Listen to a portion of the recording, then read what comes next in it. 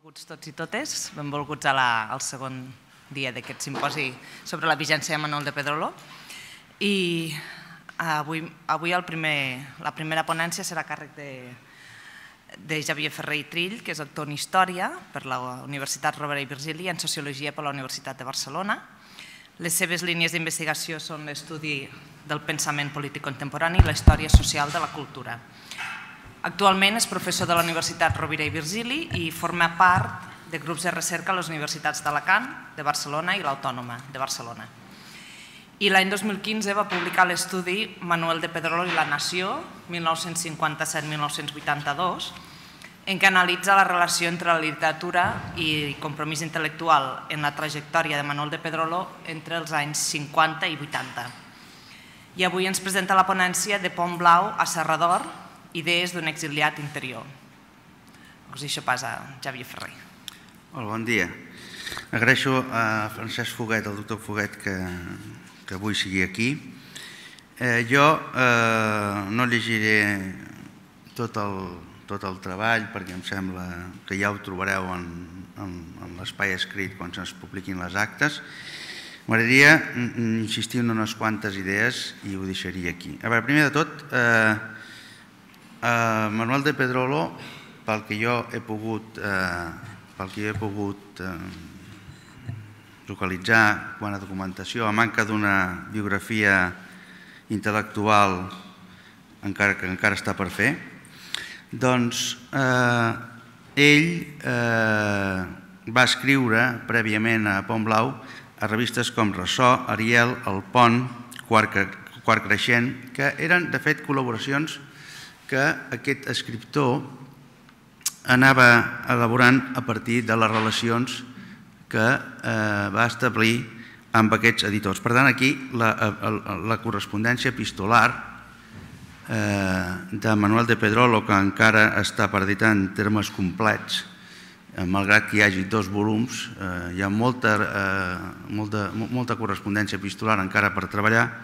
doncs, quan hàgim analitzat tota la correspondència o bona part de la correspondència que aquest autor va eh, establir amb d'altres, amb, amb, amb editors i amb activistes de la cultura i de la política, ens podrem fer cabal d'aquest primer món subterrani eh, a través del qual l'escriptor va poder vestir aquestes relacions per poder col·laborar en aquestes publicacions. Eh, resseguint aquestes, eh, aquestes primeres col·laboracions, ens adonem doncs, eh, com ja ha estat eh, estudiat, est elabora poètica, crítiques, sobretot traduccions dels autors nord-americans, etc.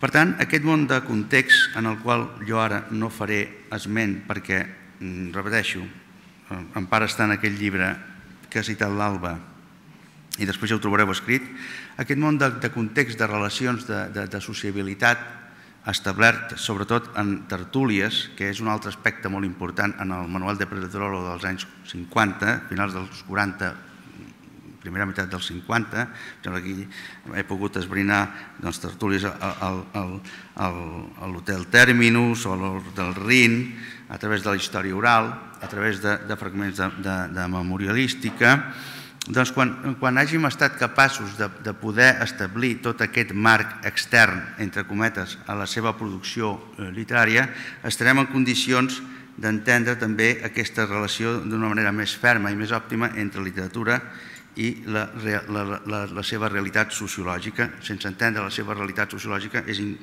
és, és absolutament impossible, almenys és la meva hipòtesi, d'entendre el seu posicionament eh, eh literari i ideològic. Per tant, passo directament, fet aquesta introducció, a la col·laboració de Pedrolo amb Pont Blau, perquè eh, la, la, la, el fet que Pedrolo pogués col·laborar a Pont Blau es deu a Rafael Tasis i marca, com sabeu perfectament, que va ser l'enllaç de, de Pedrolo, i no, únicament de Pedrolo, sinó amb d'altres intel·lectuals de l'interior, com per exemple Joan Fuster, o fins i tot alguna col·laboració escadrocera de Xavier Casp, etc., a Pont Blau, Eh, eh, per tant, eh, aquesta pròpia col·laboració de Pont Blau, eh, insisteixo, és una conseqüència d'aquestes relacions internes que cal fixar molt bé. Eh, aleshores, eh, començo per aquesta revista. Diu, una certa concepció sociològica de Pedrolo pel que feia al fet cultural i literari s'ha anat definint prèviament a Pont Blau, revista dels exiliats catalans a Mèxic, potser la revista més indicativa pel debat intel·lectual i polític del moment, entre els anys 50 i 60, i que precisament aquest, aquest eh, tàndem, aquesta col·laboració va ser eh, possibilitada a través de Rafael Tassis i també eh, Vicent Riera Llorca. Les col·laboracions de Pedrolo a Pont Blau eren curtes, mm, eren, eren eh, peces narratives doncs, eh, de, eh, a, través de les quals es, podrien, es poden ja concebre aspectes socials. Per exemple, en la narració de diners, eh, una, una narració eh, titulada Diners, que va ser el primer eh, treball publicat per l'autor a Pomblau al maig del, 60, del 54, era mm, un article de Clara orientació social, era una alegoria sobre la misèria que comportava el capital dels bancs, per tant és un tema molt vigent, d'una gran modernitat, per tant, i que amb afany especulador arribava a transfigurar tota la fesomia de l'URBS i del país. Diu Pedrolo, quan els, eh, pels petits llogarets s'esbombà la notícia que a la capital tothom feia negocis, el país es precipità a la ciutat. A començaments de la dècada dels 50, Pedrolo a través del realisme crític, vinculava l'artificiositat del model de vida imposat pel capitalisme, via turisme, a una dinàmica social prèvia a la desestructuració d'una microeconomia i de les seves formes d'intercanvi, la botiga. La relació entre tradició i canvi social a la qual fa esment l'escriptor amb aquest tipus de narracions eh, és d'interès perquè contradiu la visió immobilista del que és una cultura i, en canvi, aposta per una relació entre nació i modernitat. El mot modernitat no és cap al·lusió buida de contingut, sinó que fa referència a la identitat entre una nova estructura social i econòmica emergent als anys 60, fruit de les onades migratòries i del sorgiment d'àrees metropolitanes industrials. Eh, I la necessitat de projectar la cultura nacional, tot incorporant tradicions estètiques aleshores emergents. La conclusió de Pedrolo és que cal definir el tret emancipador de la cultura envers la pròpia comunitat nacional. El tret emancipador de la cultura envers la pròpia comunitat nacional és concretat a la proposta de relació entre llengua, escriptor i crítica cultural, a l'article L'escriptor i la seva cultura. Aquest article, L'escriptor i la seva cultura, és eh, un article que després va ser reproduït a eh, Els elefants són contagiosos l'any 74, que és un, eh, en, aquest primer llibre d'articles que, que potser caldria reeditar algun dia, és on, on, on vosaltres també podreu trobar pràcticament la majoria d'aquests articles. Eh, són els més importants. Aquest article en concret de l'escriptor i la seva cultura va ser publicat a Pont Blau al setembre del 62 i després, per, per qüestions de censura, en aquest, aquest article canvia de nom a Els elefants són contagiosos o sigui, no és el mateix títol, és, crec, l'escriptor i la tradició, un títol semblant. En aquest article, doncs, l'autor hi destaca dues idees eh, que són també mm, obviades fins i tot actualment. El primer, la primera idea de Pedrolo en aquest article és que una cultura en marxa és quelcom que s'està fent sempre i que, com tot allò que viu, canvia, evoluciona i entre les maneres d'evolucionar no oblidem que, si convé, la mutació també n'és una en aquest sentit, deixa clar que acceptar la transformació, el canvi, no és acceptar l'anihilament de la pròpia personalitat, sinó tot el contrari. La segona aportació que fa en aquest article és que, en, en conseqüència, la identitat lingüística no té per què substituir la idea de transformació de la societat. És a dir, la persistència a mantenir l'immobilisme conservador contra la transformació social remet al seu torn a una cultura que deixa de ser nacional per esdevenir dependent es tractaria d'optar o no per la decisió de superar la eh, situació minoritzada d'una llengua en funció de la seva representació en l'àmbit d'una majoria social i no recloure-la pas en un àmbit oligàrquic, etc. És a dir, aquest article, com que el podeu llegir, jo no m'hi estendré més, però potser és l'article més important de Pedrolo a Pont Blau en aquesta etapa. Aquest article, d'altra banda, eh, passant mm, directament a l'etapa de, de Serra d'Or, que és l'etapa, la segona revista en importància que Pedrolo, com sabeu, eh, utilitza per expressar-s'hi, eh, és eh, una relació conflictiva perquè hi hagué en alguna circumstància i això és un fet que caldria aprofundir en què Pedrolo va tenir moltes o algunes dificultats eh, envers a la publicació d'algun dels seus articles a la revista. Eh, fins i tot hi ha alguna eh, intervenció o article de Pedrolo a la revista Serra d'Or que no va ser publicada i que en canvi el, el, jo he pogut publicar una resposta de Pedrolo a, una, a, a un lector en aquell llibre de Manuel de Petroli i la Nació, i no està publicat en lloc ni a la revista. Per tant, és interessant i important, torno a insistir, que els arxius, els arxius funcionin realment en aquest sentit i que siguin a l'abast del públic, cosa que no sempre passa, i per tant aquest, aquest entreteixit eh, subterrani torna a ser molt important en Pedrolo per la qüestió de la censura. Jo vaig parlar amb el pare Massot, farà, doncs, com feia el llibre, i em va dir que bé, encara el, el fons de, de l'arxiu no estava totalment al públic ordenat, però suposo que quan estigui en condicions es podrà saber aquest recorregut d'aquesta part de la censura de, Pedrolo, de Serrador a Pedrolo. Bueno, doncs aleshores, eh, els articles de, de, de Pedrolo a Serrador eh, enllacen bastant amb la tònica que, mm, de, del darrer article a Pont Blau és a dir, eh, bàsicament els articles de l'escriptor eh, a, a Serrador eren uns articles de, de debat, de, de combat, de, de, tocar sempre qüestions molt, eh, molt actuals i per tant tot seguit llegiré uns fragments d'aquesta aportació i després passaríem a la conclusió. La col·laboració de Pedrolo com a articulista a Serrador es produïa a través del pare Jordi Pinell, com a inductor directe i de Jordi Sarsenedes.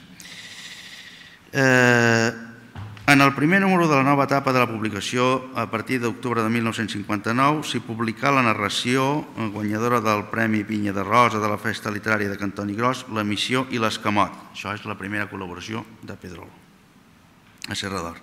Entre 1963 i 1968 hi va incloure les, les nou aportacions, els nou articles que eh, de més abast ideològic, de més, de més interès central eh, que l'escriptor mm, hi va lliurar.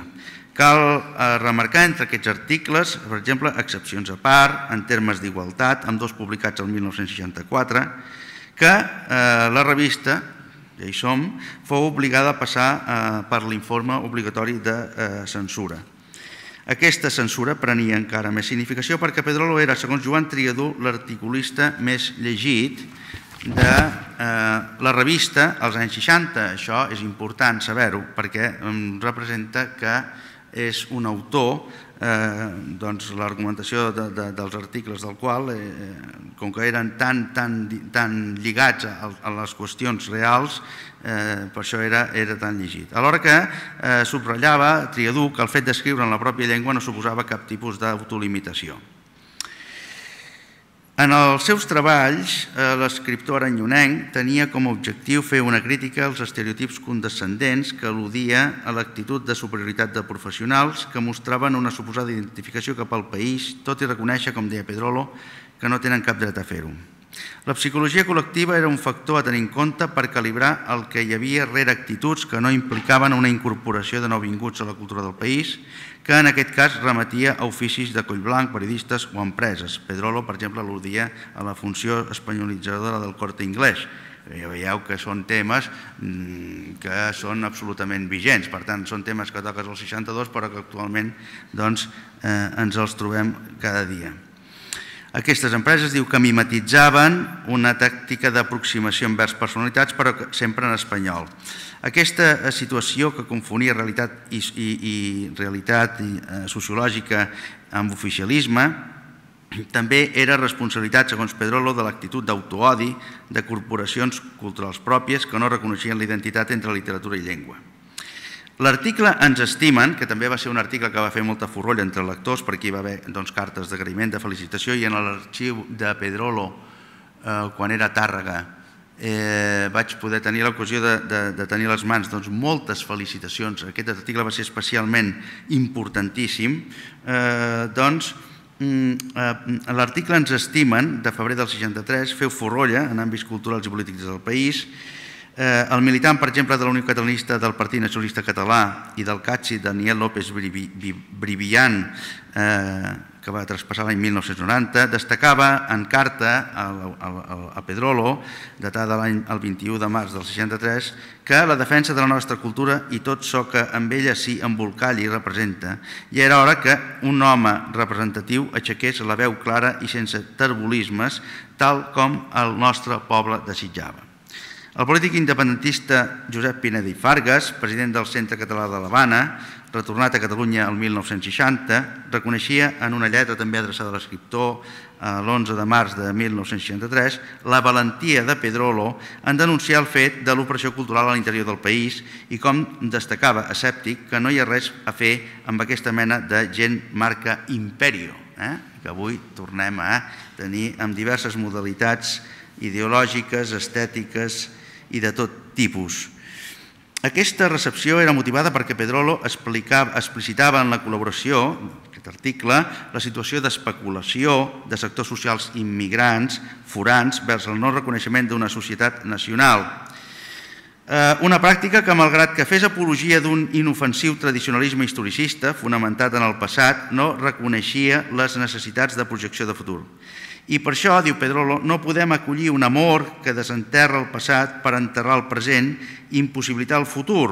Un amor fet de condescendència i ni i eh, que ni quan demana reciprocitat no sap trobar els termes que ens, ens, ens podrien obrir el cor. El número 31 de la revista Horizontes que dirigia eh, Pere Foix, el biògraf de Serra i Moret, a Mèxic, en el número d'Horizontes del 15 de, de juny de, de 1963, és una revista que encara resta per, per esporgar i per treballar, perquè allà hi havia molta informació cultural a l'exili, no únicament a Serra d'Or, a Pont Blau. Eh, aquesta revista defensava laudatòriament el treball de l'escriptor, en general, tot reproduint la crònica que probablement li, eh, enviava Rafael Tassis a la revista. Això és una hipòtesi eh, que pot ser versemblant, s'ha de contrastar. Diu, lo menos que se puede pedir a un ciudadano que libremente escoge un país de idioma diferente al suyo para fijar en él su residencia definitiva es que lo hable y lo escriba, a la vez que penetre en su historia y se interese por los problemas del pueblo donde vive voluntariamente y nacen sus hijos. La ignorancia premeditada del idioma, de la cultura y de la historia de una nación minoritaria es un intento de eliminación por parte de los que allí viven procedentes d'altres tierres d'economia, de cultura i d'idiomes distintos. El que abans era molt clar, doncs eh, avui sembla que no ho està. Bé, etc. Jo eh, aquí, en, en aquest article, eh, mm, per tant, eh, en el llibre trobareu aquesta contesta de Pedrolo amb un, un lector de la revista de març del 63 en què eh, Pedrolo li contesta, aquest lector li feia una crítica als seus posicionaments, li contesta d'una manera prou decidida i per que, t'interès eh, el trobareu en aquest volum. Eh, un altre article, la relació de llengua nacional i individualitat, la trobem a la reflexió que en volem fer del juny del 63. Pedrolo, a partir d'una circumstància biogràfica, eh, se li negà d'usar la llengua pròpia en una intervenció radiofònica, un fet qualificat per l'autoritat d'opció política, etc. Incideix en el tòpic, actualment prou difós, de la suposada vehiculació internacional de les cultures i, per contra, de la manca de legitimitat de les cultures sense estat identificades amb una actitud localista. No sé si us sona això. Eh? Fins i tot en el nostre benvolgut món universitari el català ja comença a fer Bé, deixem-ho córrer. Jo, el, el, aquí, per tant, tot, tots, aquests, tots aquests articles, i acabo per, per la mitja hora, eh, tots aquests articles de, de, de, de Pedrolo Serrador, mm, doncs, eh, una mostra, ja veieu que són eh, no, no únicament literàriament impecables per la seva equitat en l'expressió, sinó perquè són sociològicament molt, molt, de molt d'interès per el retrat de l'estructura social del país eh, amb, amb, la, amb la recepció de, de, noves migracions, i etc. Hi ha però un altre article que també fou molt llegit que és En termes d'igualtat, el títol ho diu tot, també escrit l'any 64, eh, que era una resposta sociolingüística eh, a, a Ramon Menéndez Pidal, no, no cal dir per què, per, per, per, per, la consideració de la llengua catalana, i etc. Bé, acabo eh, amb una anècdota que és que en un d'aquests articles de, de Serra d'Or, eh, l'escriptor Eugeni Xamà, eh, en un article mm, que va escriure eh, Pedrolo l'any 67, mm, el va felicitar Xamà amb una carta que també vaig reproduir en el llibre aquest de Manuel de Pedrolo i la Nació. Excuseu que remeti amb això, però clar, mm, és eh, un fet objectiu, eh, que eh, el, el xamà li, venia a dir, també el trobarem al llibre, diu, us felicito, diu, perquè en aquests temps de, venia a dir, de progressisme i de eh, lectures de Roland Barthes i de psicoanàlisi i, de hipisme, per dir-ho així, diu, vos, mm, volem dir, aneu al gra i no us deixeu entabanar per aquest fals cosmopolitisme, no? És a dir, un home que mm, va, va, va ser a la Societat de Nacions, germanòfil, va fer la Primera Guerra Mundial, o sigui, un home, eh, doncs, eh, podríem dir una mica el Puigdemont de l'època en termes periodístics, aleshores representa que ell, ell eh, doncs, eh, bé, amb, un, amb, una, amb una falca generacional important, felicita Pedrolo, o sigui, és, és una mostra de contraposició generacional però amb, amb unitat d'objectius. I acabo amb dues paraules, per tant, tota la qüestió aquesta de la crítica al bilingüisme, eh, que era aquesta felicitació d'Eugeni Xamara per, per aquest article de Pedrolo, després el ressò que va tenir Pedrolo en aquesta conjuntura quan, eh, quan escrivia a Serrador a, a Portugal, eh, tenia un, un, feia de pont amb un periodista eh, a través de Manuel de Seabre, eh, podia ser tant Manuel de Seabra com també Fèlix Cucurull, eh, va, li, li van dedicar algunes pàgines de, de, de, de, presentació i fins i tot Pedrola hi va escriure algun article, també ho trobaran en el llibre. Bé, acabo dient el següent. L'exili interior pedrolià, jo utilitzo aquest concepte d'exili interior perquè eh, és un, una dictadura dintre d'una dictadura, és a dir, un isolament dintre d'un isolament, eh, com s'esdevinguem en, d'altres activistes. Eh, jo aquí eh, citava el, el, el cas del psiquiatre Felip Cid, perquè en les memòries de, de Felip Cid, que és el, el, uh, un dels primers editors als anys 60 que li publica la seva obra a l'editorial La Cinera, doncs eh, va dir que Pedrolo era, mm, en, el, en, aquell context dels anys 50, el, un, un cas d'escriptor, d'un dels pocs escriptors que mm, adoptava eh, el marxisme, eh, i un, un cas de relació molt clara entre catalanisme i marxisme. Bé, doncs, eh, Felip Cid, fent un, un paral·lelisme potser una mica arriscat, però era de la mateixa generació que Pedrolo i és un personatge que cal estudiar.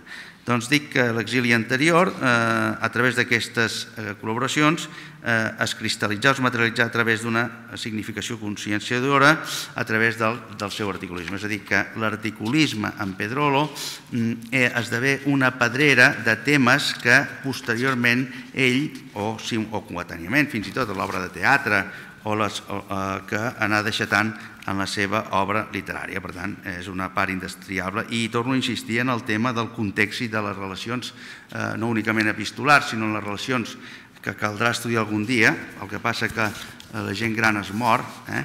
I, i per desgràcia, i per tant, mm, doncs, eh, aquest, aquest, aquest context, aquest món de tertulis, aquest món de sociabilitat, aquest món de reunions, que també condicionen moltes vegades eh, aquest tipus de col·laboracions. Per tant, aquí la, la, la, la, el sociabilisme és també molt important. Moltes gràcies.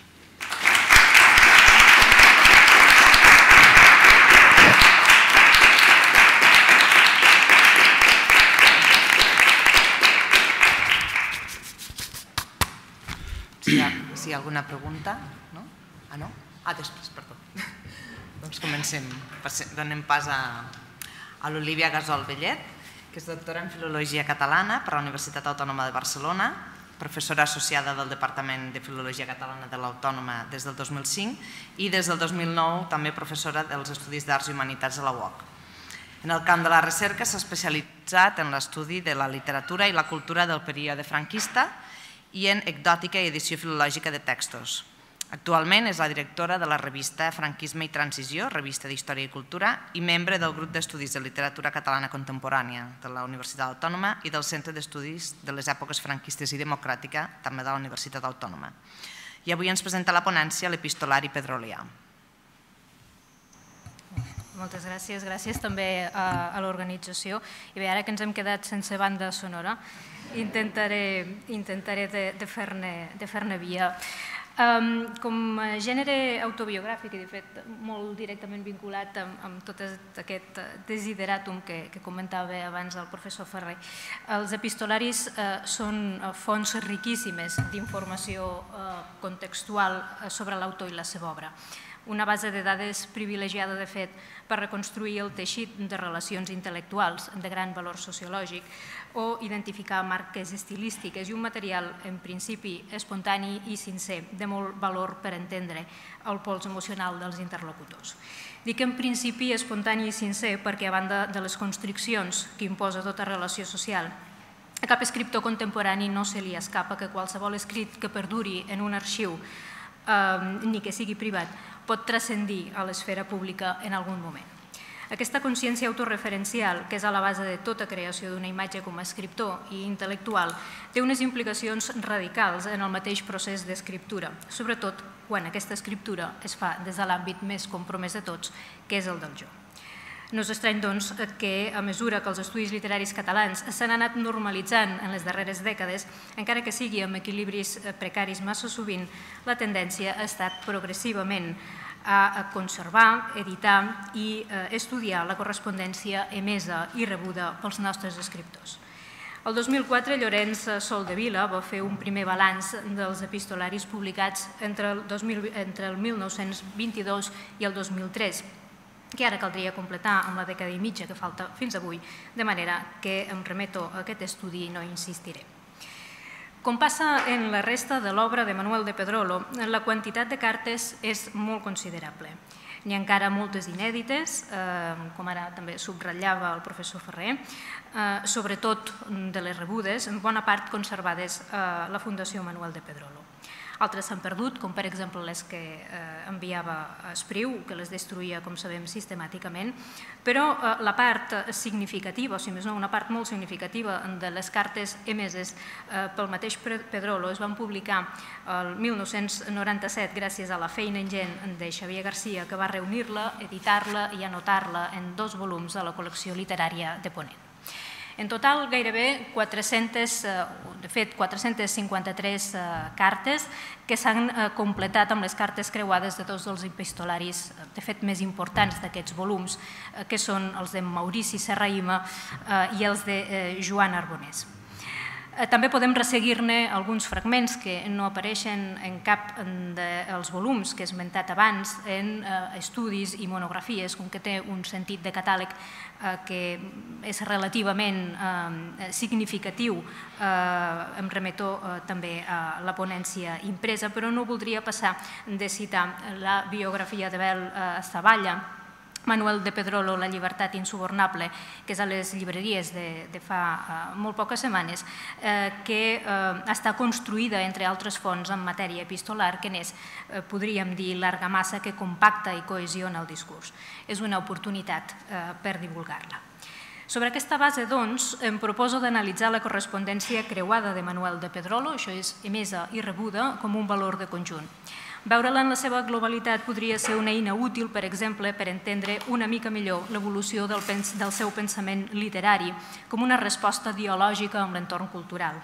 Dit altrament, que Pedrolo fos un home de caràcter més aviat solitari, que no s'acabés d'integrar en els cenacles artístics barcelonins, que defugís la mise en escène que envoltaven sobretot els premis literaris i fins i tot que ell mateix se sentit oblidat de la crítica professional eh, i de vegades fins i tot dels eh, lectors anònims, no són arguments suficients perquè refusem de preguntar-nos quin paper va jugar en el camp eh, cultural en què se sentia part per altres vies que quedaven al marge de la seva obra estrictament creativa o periodística ja en el tardofranquisme i en els anys de la transició. Miraré d'apuntar a continuació algunes hipòtesis que no són ni molt menys totes les possibles i algunes propostes d'anàlisi que penso que poden contribuir, si més no, a obrir el debat. Com acabo d'insinuar al principi, de, el, els, als anys 50 eh, Pedrolo ja tenia perfectament construïda la pròpia imatge d'escriptor, encara que no pogués viure de la literatura i tingués poca obra publicada.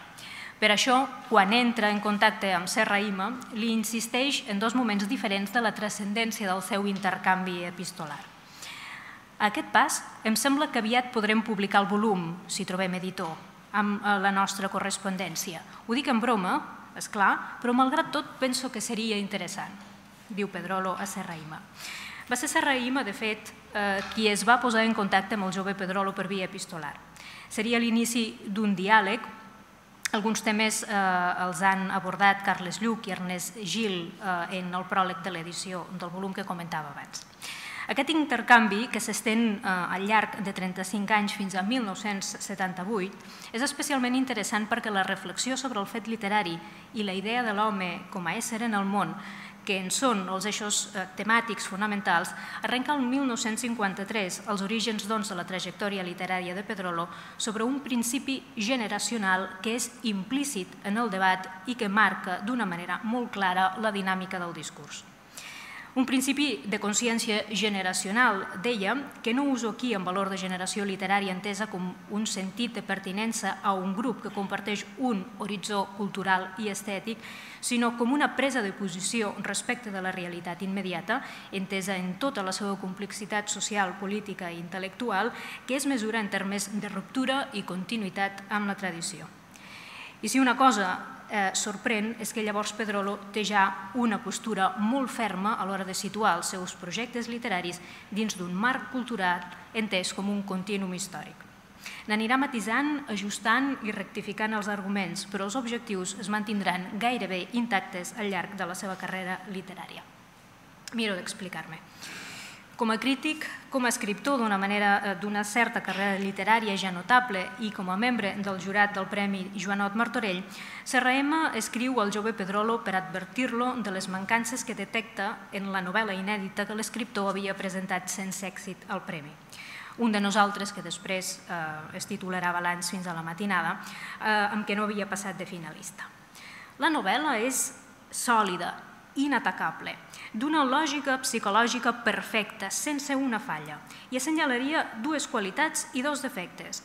Els defectes serien una certa insuficiència del tema per a un desenrotllament tan extens i recíprocament un desenrotllament massa complet, massa minuciós del tema. De fet, doncs, quedarien reduïts a un, perquè corregit l'un, corregit l'altre, deia Serraïma. Serraima, per tant, en valora allò que podria casar millor amb la seva concepció de la novel·la. Això és el realisme psicològic en què s'aborda el retrat de la protagonista, del protagonista, del jubilat, a què si li esberla la percepció eh, quan eh, abandona la rutina laboral. L'acumulació d'anècdotes, en canvi, més aviat li fa nosa. I insistirà més endavant quan l'abril del 54 li comenta Cendra per Martina, també inèdita i troba eh, que hi sobren detalls, passatges sencers que no són imprescindibles segons la seva manera de veure-ho per a fer avançar la trama i la manca de semblança de la construcció dels personatges. Els personatges, i així és on ve l'autèntic defecte, diu el crític, han estat creats només per viure el drama i passat el moment culminant en el qual acaba la novel·la deixen d'existir com a homes convencionals, l'única realitat dels quals és reviure i contar aquell drama, per així perden humanitat i realitat. Dins del joc de perspectives més o menys hàbil que construeix Pedrolo en el seu drama psicològic, l'humanisme de base propi del plantejament novel·lístic de Serraïma queda, doncs, parcialment inservible per assimilar la desrealització incipient dels personatges en tant que éssers al servei només d'un codi ficcional, com també el fonament epistemològic que hi ha a la base i el sistema de valors que se'n deriva. És per això, en part, que Pedrolo encarrila gairebé des del principi el debat en dos sentits. A dinamitar els principis filosòfics i teològics sobre els quals es fonamenta el pensament del crític eh, Serraïma eh, i a edificar-ne amb les runes la base de la seva concepció del gènere. Provo de resumir-ho en un sol argument lògic eh, que en la correspondència ocupa un centenar llarg, molt llarg de pàgines. Si lluny de ser una veritat objectiva, Déu és una realitat intel·lectual que invalida per això el camí de la fe i de la imitatio Christi com a base, com a base d'una moral per donar sortida a l'angoixa de l'home modern, i si de resultes de la dissolució d'aquesta veritat primordial l'ésser humà ha quedat atrapat en un silogisme sense premisses incontestables quan es planteja els fonaments de la pròpia condició, això és la llibertat, la salvació i la mort.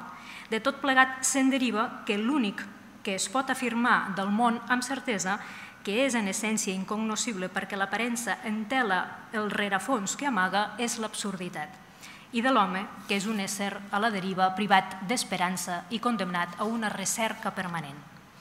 El conflicte és filosòfic o lògic, com insinuava abans, però també lingüístic, per tant, perquè eh, en condiciona l'eficàcia del llenguatge com a eina de coneixement.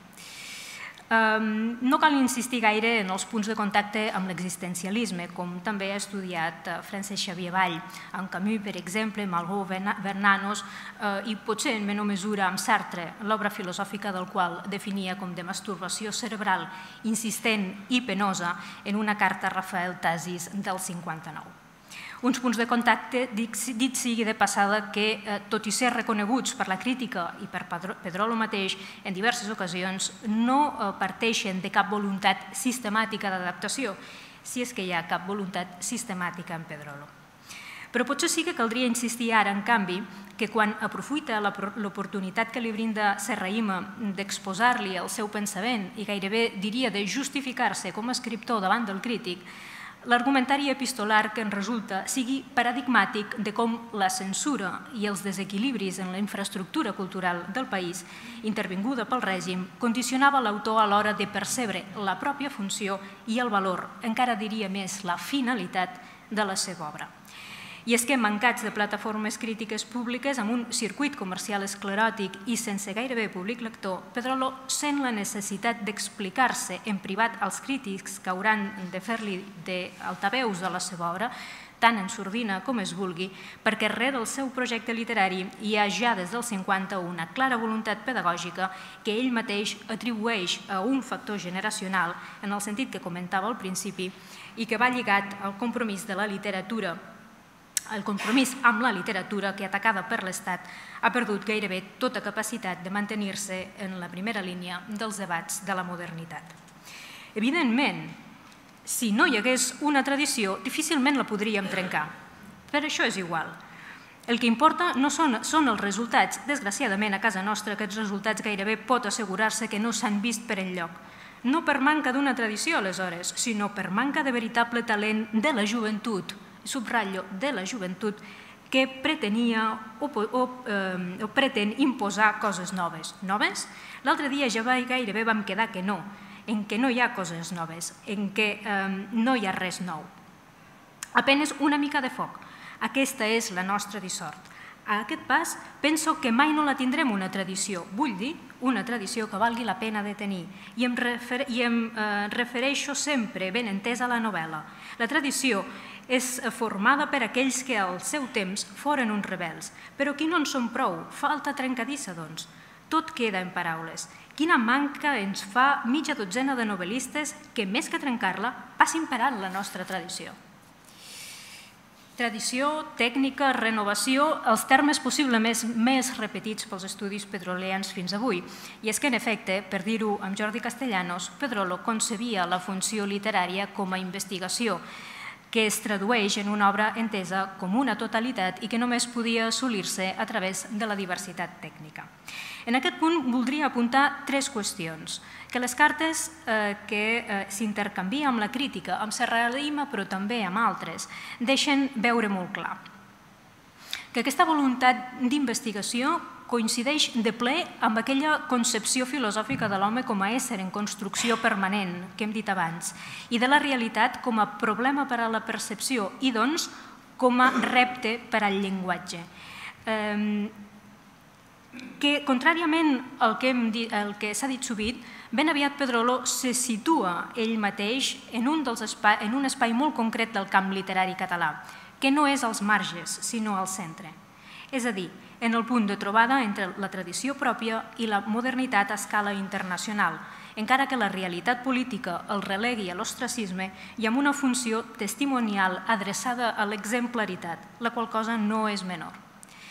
I que l'exploració tècnica amb què vol aconseguir aquesta centralitat és una solució estructural que va necessàriament en detriment de les opcions estilístiques personals, a les quals Pedrolo nega qualsevol eh, transcendència en l'evolució dels gèneres.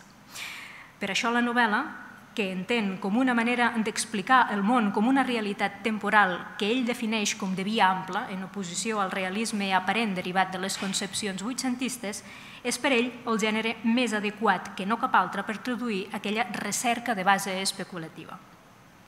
I per això, quan assenyala la recepció de models propis de la narrativa americana d'entreguerres, identifica l'objectivisme que li fa de base de la narrativitat amb què construeix els personatges com una tècnica adequada per pouar en l'essència de la condició humana, no només com una novetat i que això també, i per això també insisteix una vegada i una altra que l'estil com a marca d'autor i la bellesa en un sentit d'emoció estètica no és la finalitat del gènere, sinó l'anàlisi existencial, perquè la matèria amb què treballa la vida no és res més que simple podridura.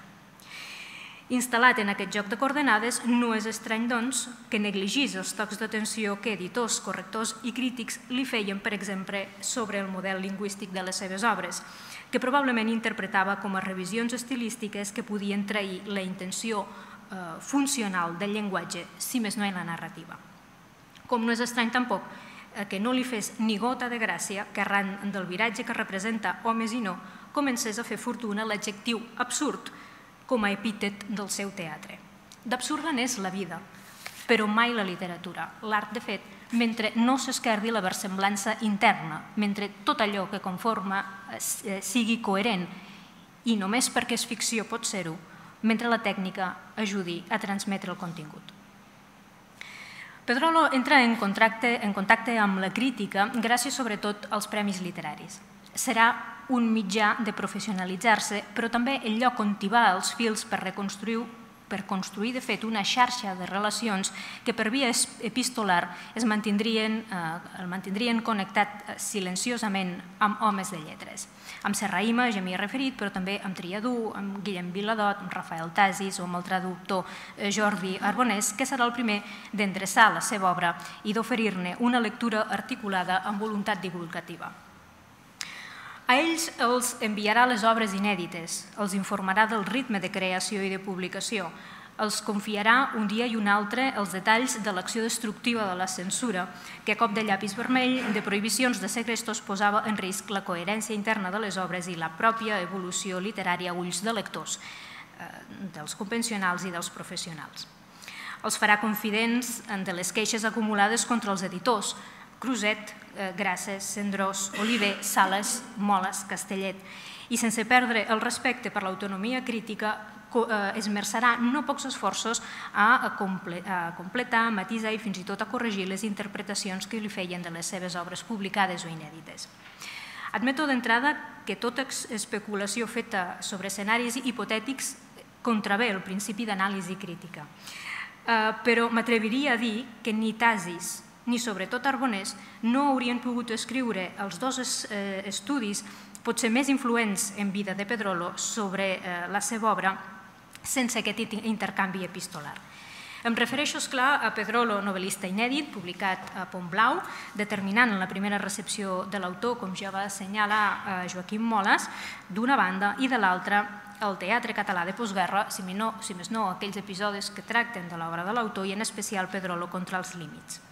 A propòsit del darrer, Antoni Montner Jordà apunta discretament en aquesta direcció, o si més no així em sembla entendre-ho a mi, al pròleg eh, de l'edició recent de l'obra, quan subratlla que el text d'Arbonès presenta algun escaducètic de llenguatge o terminològic que són sovint compartits amb Pedrolo mateix. Potser podria donar algun resultat treballar comparativament la correspondència amb l'estudi d'Arbonès. Les cartes, doncs, eh, com ho seran després els dietaris en la darrera etapa de la seva vida, són documents de primer ordre per aproximar-nos al pensament literari de Pedrolo, a la seva visió del món i a la manera com, tradueix en un, eh, com la tradueix en un llenguatge literari. Però també per prendre el pols a dues qüestions fonamentals, sense les quals em sembla que difícilment podrem entendre la seva trajectòria. quina funció atribueix a l'escriptor i quin paper ha de tenir la cultura i en especial la literatura en una societat sotmesa a un règim dictatorial. Començaré per la conclusió. Per Pedrolo, la seva literatura és un acte d'afirmació política. No dic feta en clau política necessàriament. Des de les novel·les de gènere fins als cicles narratius, des del teatre de l'absurd eh, fins a les traduccions i la seva funció com a escriptor és posar-se al servei de la reconstrucció de tants espais perduts com sigui possible en un context de liquidació de les estructures culturals i d'institucionalització del franquisme. Les castes permeten veure algunes de les opcions i actituds que pren en coherència amb aquest principi i que el mantenen en una situació de tensió permanent amb la realitat que moltes vegades s'ha interpretat, penso que erròniament, eh, com una eh, actitud eh, incoherent. En posaré uns quants exemples. Un dels espais que calia recuperar per caminar cap a la modernitat era el mercat editorial. Sense això no es podria ni professionalitzar ni recuperar el públic lector en català. En un context que posava les coses molt difícils a qualsevol escriptor, si no eren els que comptaven amb la connivència de les autoritats franquistes i dels seus mitjans de difusió, Pedrolo es trobava en la disjuntiva d'haver d'encaixar la seva radicalitat a l'hora d'entendre la llibertat de l'escriptor, la necessitat de guanyar-se la vida eh, perdó, necessitat de guanyar-se la vida amb la literatura i la voluntat de fer arribar els seus textos a un públic tan majoritari com sigui possible amb els mecanismes de control que imposava la censura i amb un mercat precari que amb els anys va ser progressivament ocupat per editorials que es regien generalment per uns criteris comercials que no sempre beneficiaven a l'autor. Més d'un centenar d'obres són moltes per resseguir amb detall les gestions que Pedrolo va fer amb els seus editors. Per això en trio només uns quants exemples. L'estiu de 1953 coneix l'editor Grasses eh, a casa de Fèlix Cucurull. Durant la conversa sembla que Grasses li hauria explicat el projecte que tenia en mans, la col·lecció de narrativa breu eh, que es distribuiria eh, en forma de subscripcions i a un preu molt assequible de 15 pessetes i a raó d'un llibre mensual. És la col·lecció Lletres i nova col·lecció Lletres. Gràcies li demana de seguida un original que hi encaixés per extensió, un centenar de pàgines. I Pedrolo es compromet a enviar-li Es vessa una sang fàcil, una novel·la negra eh, breu de 100, 110, 120 pàgines, eh, que eh, havia construït a còpia d'hibridar els dos contes del recull Premi Literari i més coses que la censura havia prohibit uns anys abans. La correspondència il·lumina com Pedrolo no estava gens convençut ni de la viabilitat de la col·lecció ni del criteri de l'editor ni de la qualitat de les primeres obres eh, que s'hi començaven a publicar i que ell qualificava de mediocres, i menys encara del grup d'escriptors que girava entorn seu, els pseudointel·lectuals de l'olla d'engrasses, com ell mateix els anomenava. En parlaria diverses vegades a Cucurull mateix i a l'amic de joventut, joventut Jaume Angli. I de fet tenia raó, la col·lecció va durar poc, fins que Santiago Albertí la va comprar a finals de 1954 i la reconvertiria, i gràcies va desaparèixer sense pagar els eh, autors. Tot plegat mentre l'obreta de Pedrolo s'imprimia carregada d'errors, dit sigui de passada les edicions més recents també.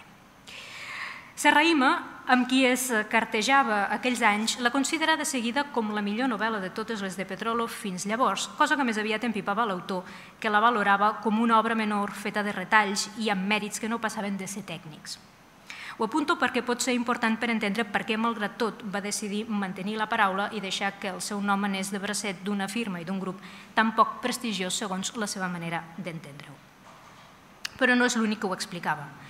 Necessitava publicar, és cert, i sembla que Gràcies eh, s'havia compromès a treure-li una novel·la cada 7 o 8 mesos, un ritme difícil d'assumir per cap altre editorial. El gènere encaixava amb eh, la finalitat del segell, també és cert. Però hi havia encara una altra raó de pes que diria que és la que ho explica millor que cap altra. Gràcies era un editor popular, que volia publicar volums molt assequibles de narrativa de tema actual, eh, per recuperar el públic lector en català. Només quatre mesos abans de la trobada amb gràcies a casa de Cucurull, el maig de 1953, Pedrolo escrivia el següent a l'escriptor lleidatà Miquel Lledó. quan els meus projectes editorials les coses no van massa bé. He tingut la sort de trobar un editor que es presta a cobrir-me amb el seu nom a fi d'estalviar-me despeses fiscals molt crescudes. La impressió, però, resulta molt més cara del que creia, tant que em caldrien més subscriptors dels que cal lògicament esperar per a salvar-m'hi econòmicament. Perquè si no puc donar els llibres a preu assequible, prefereixo no començar. I per tirar endavant un parell de títols i, i engrossir així la història dels nostres fracassos editorials, no val la pena. En fi, encara no sé què faré. Aquesta voluntat de publicar les, les obres en edicions tan barates com sigui possible, la mantindrà fins al final. Però que les edicions fossin assequibles com a condició necessària per crear un públic lector en català sense discriminacions de classe, no havia d'implicar que els editors convertissin el valor comercial en la unitat de mesura de les seves obres. I heus aquí com el, com el pecat original de tot mercat editorial es converteix ben aviat i fins al final en motiu de controvèrsies i frustracions.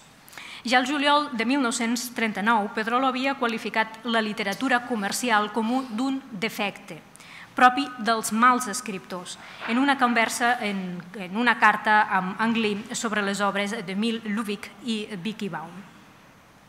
Al llarg dels anys, toparà de cap una i altra banda amb l'argument de la falta d'interès comercial de moltes de les seves obres per part d'editors i homes de teatre. S'hi havia trobat ja el 1952, quan proposa el Romea d'estrenar-hi Atzucac, una peça escrita al 51 en la línia existencial que, segons Guillaume Jordi Graells, acabaria estripant. S'hi trobarà de nou a finals dels 50 quan intenta estrenar La nostra mort de cada dia. I també amb Homes i no, un paradigma de com sota el règim de censura prèvia, minoritari o experimental, podien ser bons arguments per estrenar una peça sota la fórmula de la representació única és el que va fer l'agrupació dramàtica de Barcelona després que Pedrolo intentés infructuosament que fos representada regularment per una companyia professional. Per culpa de totes aquestes representacions úniques, escriuria Pedrolo a, Bonaventura Selva al 58, acabarem per creure que només es fa teatre minoritari, quan en el fons no és aquest el cas. S'hi trobaria també amb els tractes amb els editors. Els convido a rellegir, per exemple, la correspondència amb Joan Oliver i Joan Sales arran dels intents eh, infructuosos de publicar un de nosaltres, el primer títol de balanç fins a la matinada al Club dels Novel·listes. Un episodi que Zavalla reconstrueix eh, en un dels capítols de la seva biografia material, entre altres inèdit, que potser és on trobem aquest Pedrolo eh, més irònic i, per què no dir-ho, també emprenyat. La novel·la, finalment, no es publicarà a la col·lecció, sinó Cendra per Martina. Eh, Pedrolo escriuria Arbonès l'abril del 58. També aquests senyors s'entesten en parlar sempre de coses comercials i no volen tenir en compte cap altre factor, cosa que és ridícula quan ells mateixos no saben què és comercial i què fracassarà, com s'ha demostrat repetidament.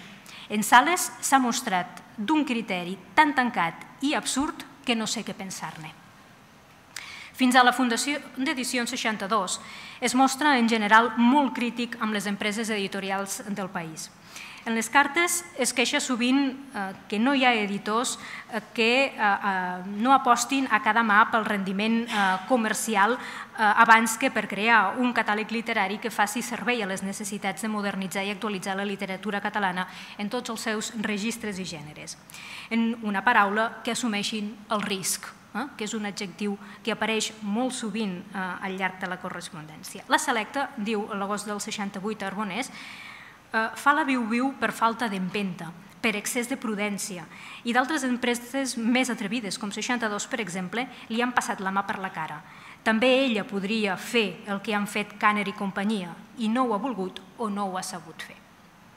N'era llavors autor de 62, traductor, assessor literari, director de la col·lecció de novel·la policia La, eh, la cua de palla.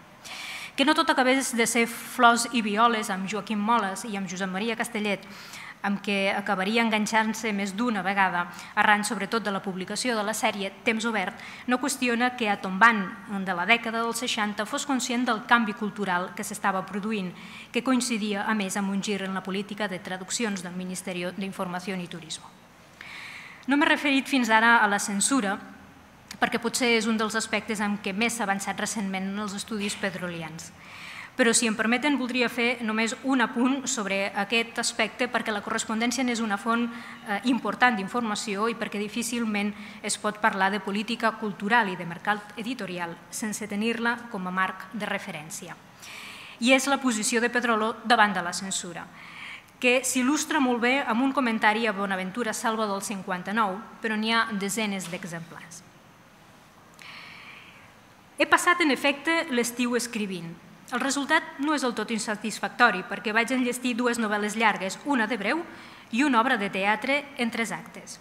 En realitat, més quartilles al calaix, perquè no veig que pugui publicar o representar tot això.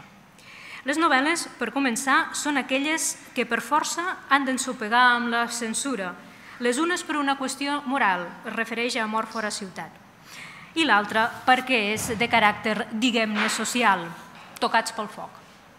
La peça que no té inconvenients és tan anticomercial com pugui imaginar-se, tècnica de cambra.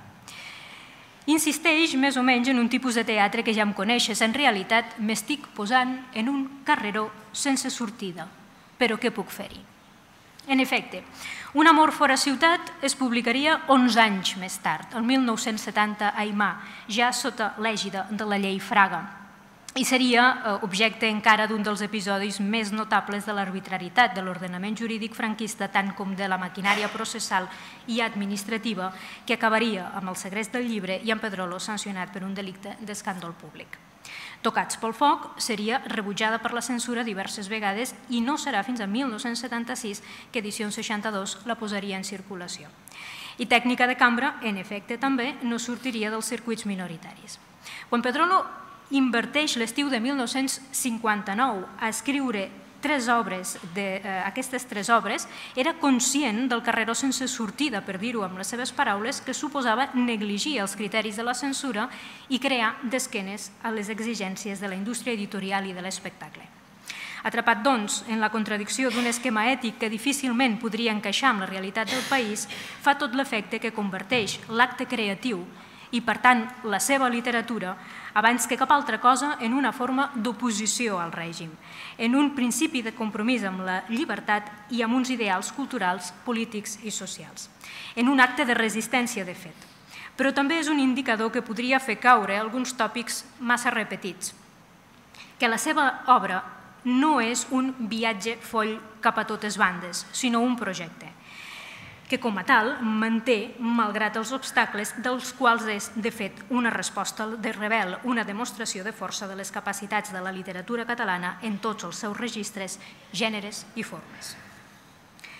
Mentre l'Estat manté el segrest de la premsa, trasllada, doncs, a les cartes la funció de la crítica, que adreça a aquells eh, sectors, grups eh, o individus sobre els quals creu que pot tenir una certa capacitat d'influència en la gestió de projectes culturals. A escala molt petita, d'acord.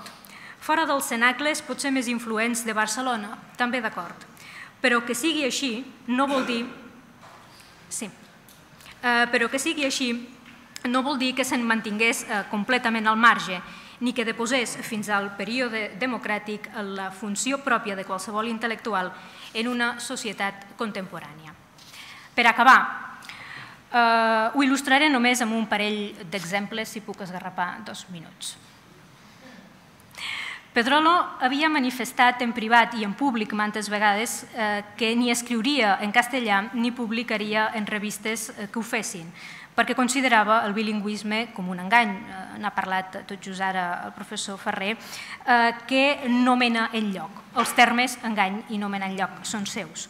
Per ell, Josep Pla i Destino eren els casos més representatius d'aquest mal. La gent de Destino em són perfectament antipàtics, tot i que personalment sempre m'han tractat molt bé. I penso que han fet força mal a la nostra literatura, li escriu a Ricardo Orozco al 55. L'un perquè era escriptor bilingüe més conegut i perquè una part de la crítica li atribuïa més el mèrit, segons ell erròniament, de renovar la novel·la catalana. Però què es pot esperar d'un país on la gent, si més no una part, creuen que Pla és un renovador de la nostra novel·la quan sigui el que sigui i els seus mèrits com a escriptor de novel·lista no en té res. s'exclama a Serraïma eh, aquell mateix any. En el fons, d'aquesta pregunta retòrica s'hi manifesta una concepció radicalment distinta, ja no del gènere, sinó de la literatura com a forma de percebre el món. Els altres, destino, entre els quals el mateix pla, perquè en les primeres dècades anirien integrant en el setmanari la literatura catalana a partir d'un principi d'assimilació que dins del marc identitari es limitava al barcelonisme com a factor de correcció del catalanisme cultural. Per això, quan Pedrolo construeix, que serà ben aviat, un entramat de relacions amb alguns escriptors lleidatans que li eh, segueixen de prop la seva trajectòria literària, no perd l'ocasió d'insistir-los que escriguin en català, a Miquel Lledó, per exemple, i d'advertir-los dels perills del discurs del lleidatanisme que inunda la premsa cultural local, com el setmanari Labor, que es va publicar a Lleida entre el 53 i el 59 i on col·laboraven Josep Vallverdú, Francesc Porta o Josep Cire, per exemple. Està bé, li diu eh, Porta al febrer del 53 després de llegir els primers números de Labor, que la primera etapa de la revista hagi servit més o menys per crear, com tu dius, per prendre eh, la, la consciència del món lleidatà.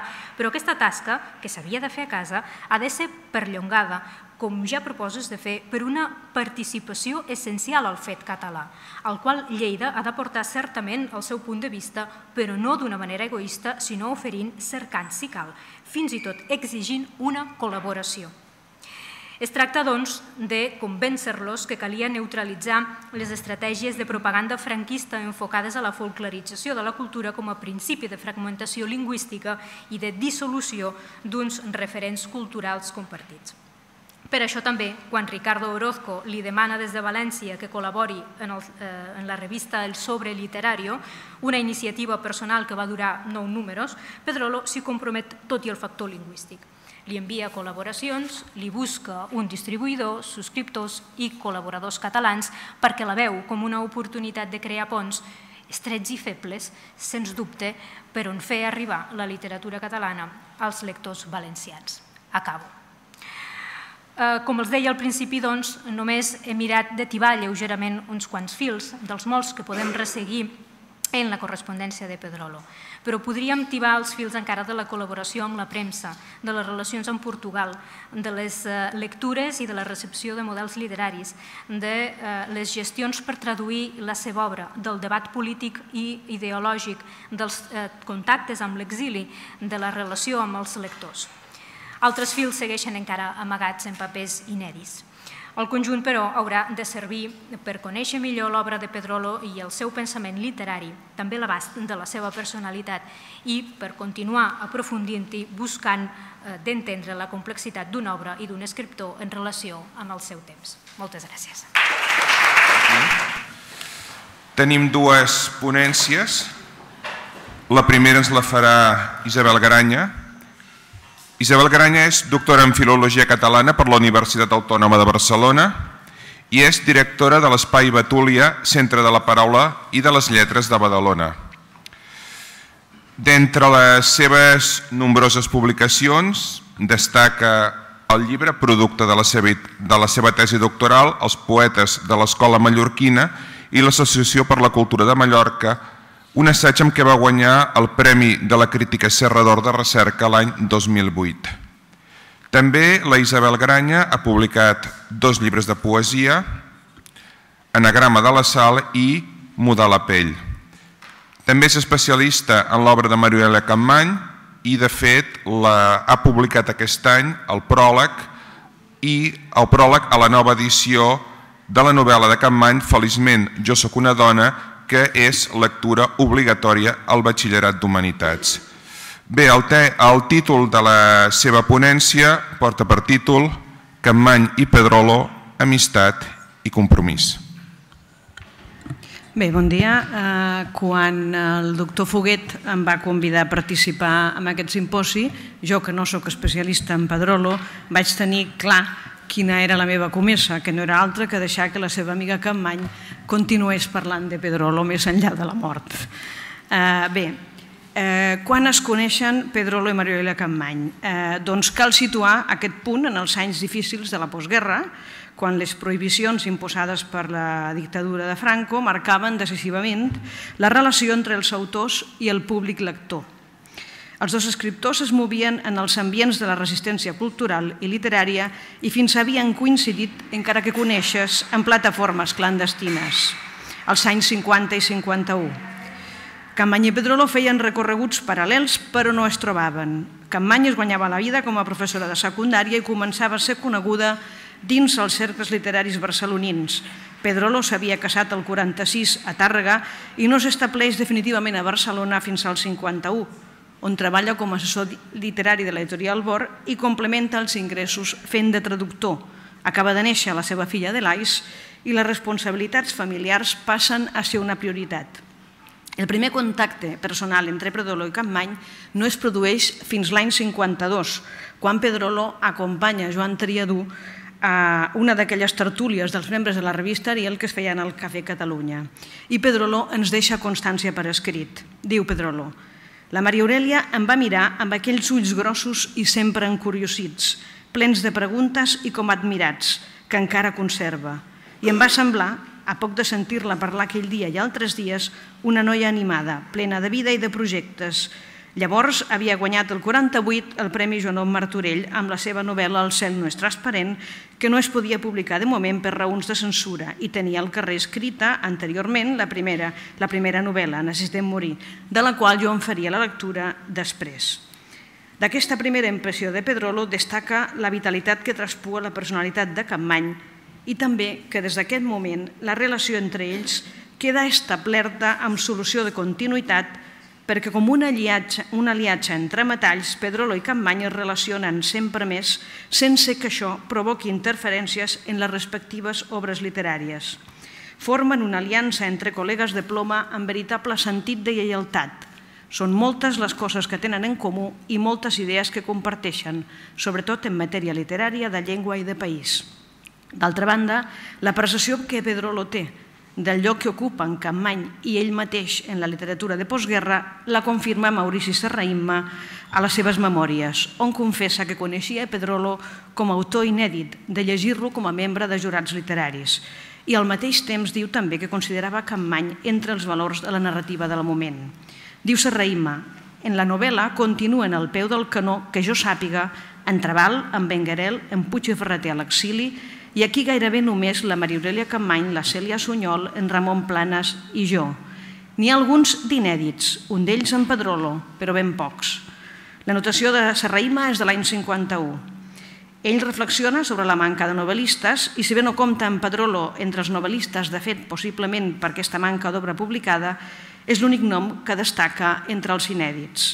Més endavant, el mateix Serraïma, l'any 53, parla de quan va conèixer ell personalment a Pedrolo i aleshores ja parla de que és un dels escriptors que tenen més possibilitats sempre basant-se en manuscrits. La dificultat de publicar era aleshores un dels principals mals de cap dels escriptors catalans. En realitat, Pedrolo aconsegueix publicar abans que Campmany, perquè publica el primer llibre de poemes l'any 49, però com saben és un llibre eh, que, va, que va tenir un tiratge molt curt i que per tant no té pràcticament difusió. Eh, pel que fa a la narrativa, el primer llibre de contes de Pedrolo no es publica fins al mateix 52, el Premi Literari i més coses, prèvia esporgada, evidentment, de la censura que en prohibeix quatre dels contes del manuscrit original. Malauradament, una altra de les coses que tenen en comú Campany i Pedrolo és que són dos dels escriptors que van patir l'arbitrarietat eh, de la censura d'una manera més descarada. Eh, des d'aquella trobada al Cafè Catalunya, la relació entre Pedrolo i Campmany s'estreny i sabem que aprofundeix i fructifica en projectes diversos al llarg de la dècada dels 50. Una prova és que els trobem a tots dos col·laborant a la revista de Catalunya de l'any 54, encara que no es va publicar fins al 56 i a l'exili. Eh, en aquest número, eh, Pedrolo parla del que és aleshores un dels seus models i fa un article sobre el novel·lista Hemingway i Campmany fa, la, fa de cronista dels cinc premis literaris que es publiquen l'any 54, a dos dels quals es presentava Pedrolo. Uh, el Víctor Català, que no el guanya, el guanya Pere Caldés, eh, i el Joan Martorell, que en parlaré tot seguit. Pel que fa al Premi Víctor Català, eh, quan, quan Campany fa la crònica eh, es mostra coneixedora de l'obra de Pedrolo i n'apunta un dels primers problemes amb què toparà de manera recurrent, l'esquifit sistema editorial de la postguerra que no pot assumir el ritme de creació d'un autor com ell i que farà que moltes de les seves obres arriben al públic amb retard i desvintuant la recepció. En la mateixa crònica, eh, ja eh, parlant sobre el Premi Joan Martorell, Campany fa les delícies del lector actual que descobreix l'època gloriosa en què els jurats els premis deliberaven en directe amb un públic impacient que sopa i espera mentre omple travesses en unes butlletes repartides per l'organització. No fos cas que algú es despistés sobre el motiu de la convocatòria. Eh, els llegiré una part d'aquesta crònica que jo crec que és molt significativa. Eh, diu Campany, la primera votació presenta el següent panorama. Estrictament personal de Manuel de Pedrolo, 5 vots. La Verge d'Olivera de Simó Sant Genís, 5 vots. Darrera il·lusió de Manuel d'Hurtado, 5 vots. La lluita s'estableix entre Pedrolo i Simó Sant Genís i acaba amb dos vots per l'obra de Sant Genís i tres vots per estrictament personal de Pedrolo. L'autor és ovacionat i parla per ràdio segueix el bilingüisme. El locutor parla dialecte català, que diria Menéndez Pedal, i Pedrolo parla català sense dialecte. Ens explica que l'obra relata els fets en un temps brevíssim i que reflecteix la vida del comú dels mortals. Manuel de Pedrolo ha publicat una novel·la de gènere policíac, Es vessa una sang fàcil, narració àgil i viva, on lliga amb una gran habilitat un objectivisme cinematogràfic i un poètic diàleg interior. Una de les novel·les més interessants d'aquest escriptor és Cendra per Martina, que té una primera part de meravella. Lamentem no veure-la publicada. Felicitem els premiats, els que atorguen els premis i l'editor. Ens acabem el cafè i estem, per què no dir-ho, una mica eufòrics. La parcialitat de la cronista no admet dubtes. El caràcter vehement i la capacitat de transmetre entusiasme de Capmany és una de les primeres coses que destaquen tots els que la van conèixer. Però més enllà d'aquest fum cal veure-hi els aspectes que ens interessen de debò que Campany i Pedrolo s'estan intercanviant obres inèdites i que es llegeixen entre ells ja l'any 54, potser una mica abans i tot, i que coincideixen amb el gust per un gènere subestimat i fins menys preat als anys 50 i 60, com és la novel·la policíaca. Tot sembla indicar que l'interès per la novel·la serà la primera baula d'unió entre aquests dos escriptors que tot seguit emprenen un projecte ambiciós i que anirà a bon port. En l'arxiu de Manuel de Pedrolo hi ha cinc cartes de Maria Aurelia Campmany. A l'inrevés, a l'arxiu de la Campmany, no trobarem cartes de Pedrolo. De fet, només s'hi troben les de l'Espriu, la resta no sabem on són. Eh, les cartes que hi ha no estan datades, però és fàcil datar-les les quatre primeres a l'any 56 i la darrera al 68. D'una lectura atenta d'aquestes cartes, eh, resulta evident que responen a una missiva prèvia de Pedrolo on li fa una pregunta per a un projecte que rumia i que encara està sense especificar i que Campmany té una gran confiança en el seu interlocutor per la manera com li respon. Benvolgut amic, la meva curiositat no té límits i no em toca altre remei que amullar les meves opinions si vull saber quina em portes de cap. Per altra banda, dono voltos a la manera més honesta de proporcionar-te una llista i no trobo el desjudigador. L'Espriu m'ha dit moltes vegades que els únics novel·listes de veres que hi ha al nostre país, avui per avui, som tu i jo. I jo, què vols fer-hi? Crec que té raó fins podria donar-te una llista ben ordenada de raons per demostrar-t'ho. Narradors ja és una altra cosa. Espriu, que ha publicat abans de la guerra però que no té 45 anys, és el primer, com a contista millor que tu i que jo. Sarsanedes com a contista en segon joc. Espinàs no sé on col·locar-lo. Admiro el canyamàs de les seves obres i probablement fa allò que vol i una obra molt important, però deu trobar-se a les antípodes del que jo entenc per risc literari. Després podríem col·locar en Perucho, que no és ben bé novel·lista ni ben bé contista, però és llest i té bon gust, i van sis. Sobre la quantitat de galons que mereixes tu o em mereixo jo, sóc incapaç de dir-ho. Les meves novel·les no les sé llegir, així que me les miro, em trobo escrivint-les, i per tant, com a lectora, no em toca altre remei que col·locar-te a tu per davant. Espero que el teu secret sigui més sòlid que els anomenats de tomba, perquè em doldria molt que algú es pogués donar per ofès. Desitjo que m'expliquis ben aviat quina mena de projectes cuines. Evidentment, la carta respon a una proposta de Pedrolo que cristal·litza, com sabem, en cita de narradors de l'any 58, premiat amb el Premi Xart del 57. Per tant, és una proposta que té èxit i que, tot i ser una, idea de Pedrolo, ell recorre a la Campmany perquè li ajudi a donar-hi forma amb els, els narradors que, que, que concorregueren en aquesta cita són els que estrictament eh, diu Campmany en la, en la seva carta, amb l'excessió d'Espriu, que el que fa és que supera els 45 anys que per Pedroló era la condició sine qua non per entrar en aquesta cita. En canvi, tenim un record de Jordi Sarsenedes, per altra banda, de cita de narradors, que ens diu que la iniciativa era de Campmany, Diu, de cita de narradors, tinc per segur que la iniciativa fou de Maria Aurelia, potser de Maria Aurelia d'en Pedrolo. Els altres mentar-hi de bon grat. De mi n'estic segur i no em dubto pel que fa als altres. Hem de suposar, per les dades que tenim, que eh, el, el que li passa a Sarsenedes és que acusa la interlocució de Campmany pel seu tarannà més obert i engrescador, perquè ella fou la que trasllada als altres membres del grup la pensada de Pedrolo. Per exemple, en una altra carta del 56 li diu Campmany a Pedrolo Suposo que en Perucho ja t'ha telefonat. La idea va entusiasmar-lo i va afegir que volia fer una reunió a casa seva. La realitat és que s'hi engrescaren tots i el projecte anava a un port i aquí comença el que jo en dic el tàndem Pedrolo-Campmany.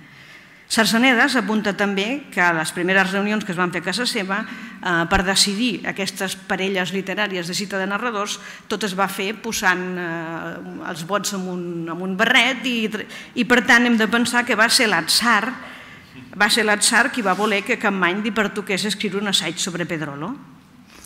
Per aquest primer estudi que fa Campmany sobre Pedrolo eh, i que serà la base de, que de tot el que farà posteriorment, eh, ella el que fa és eh, manllevar un títol eh, d'una obra de Pedrolo que és Reixes a través.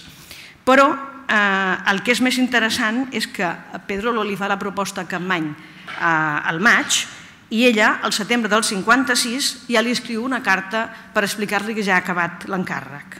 Per tant, ella també estava molt entusiasmada. Diu Campmany, fa cosa d'un mes vaig enllestir el treball que té més de 70 pàgines i que porta com a títol Reixes a través, introducció a l'obra narrativa de Manuel de Pedrolo. N'he fet dues còpies a màquina i espero que ens trobem a Barcelona per fer-te el llegir. A mi, malmès el dir-ho, m'agrada. A Sarsenedes, que se l'ha llegit, sembla que també, però, és una mica, però està una mica espantat per les coses que dic sobre els problemes lingüístics i altres coses per l'estil i tem que dir la veritat no sempre és massa polític. Jo sóc molt tossuda i no m'ha convençut. En fi, ja ho veuràs. Sento que m'hagi sortit tan llarg, però no veig la manera d'escurçar-ho. L'única forma seria reduir les cites, però no voldria renunciar-hi. He fet referència a l'obra inèdita per, pel que és necessari. No m'he entretingut en llargs ditiràmbics. La meva feina em sembla que porta dues conseqüències. Primera, que jo estaré un quant temps sense llegir obres de Pedrolo. M'ho he llegit tot de la creu a la data. Segona, que a tu et tocarà, no et tocarà altre remei que seguir escrivint fins a la fi dels teus dies si no és que portes la malèvola intenció de fer-me quedar per mentidera. Bé, el que a mi em sembla molt interessant de tot això és que, mm, com veiem, eh, Pedrolo i Campmany s'intercanvien les obres i Campmany és una lectora eh, de primera mà i segurament de les poques que ho va llegir correlativament com tocava. L'expressió d'aquest títol, encunyada doncs, per Pedrolo, serveix a Campmany no només per, eh, per, per, eh, per abastar l'obra concreta i la problemàtica del moment, sinó també per justificar l'actitud estètica i la voluntat de l'autor. L'assaig veu innegablement del bagatge i la formació filosòfica de l'autora, cosa que li dona un cert caràcter d'alta volada, encara que això no va en detriment de la concreció, ni molt menys de la intencionalitat de carar-se amb els problemes reals amb què es troba el novel·lista català dels anys 50 i de les solucions que hi aporta Pedrolo. Campmany s'hi refereix a la problemàtica que representa una llengua que ha patit la interrupció i el descrèdit en la seva pròpia tradició, i que si bé els noucentistes saberen recuperar per al conreu poètic, els novel·listes ho tenien més difícil perquè es trobaven amb una llengua insuficient i mal adaptada per al conreu de la novel·la, sobretot perquè el seu objectiu era el de transmetre una realitat viva, L'ofici de Pedrolo serà, a parer de Campmany, el que, el que l'ajuda a emprendre la construcció d'un nou lèxic que sorgeix de la creació del món propi de l'autor, de la seva capacitat innata per il·luminar la realitat i crear bellesa. Campmany havia tornat feia poc de París, eh, d'on retorna, com sabem tots, eh, embuida de l'existencialisme del moment i gairebé enamorada de, de Sartre, i aleshores l'estudi que fa de l'obra pedroliana és d'autor d'aquesta experiència. Per això, Campmany destaca per primera vegada la centralitat que ocupa la condició humana en l'obra de Pedrolo. L'home, la seva naturalesa canviant, les seves incoherències, la manera com s'enfronta a les situacions límit que li presenta la vida i la seva pròpia existència són consignats amb detall i exemplificats en passatges de la narrativa pedroliana. Més endavant s'hi tornarà a referir en un article específic, Pedrolo o l'anul·lació de la singularitat. Però sobretot a Cita de Narradors, Campmany aprofundeix amb l'ús de les tècniques narratives per part de Pedrolo i en la construcció calidoscòpica d'algunes de les seves novel·les i la manera de treballar el temps i l'espai per adaptar-los a situacions i personatges.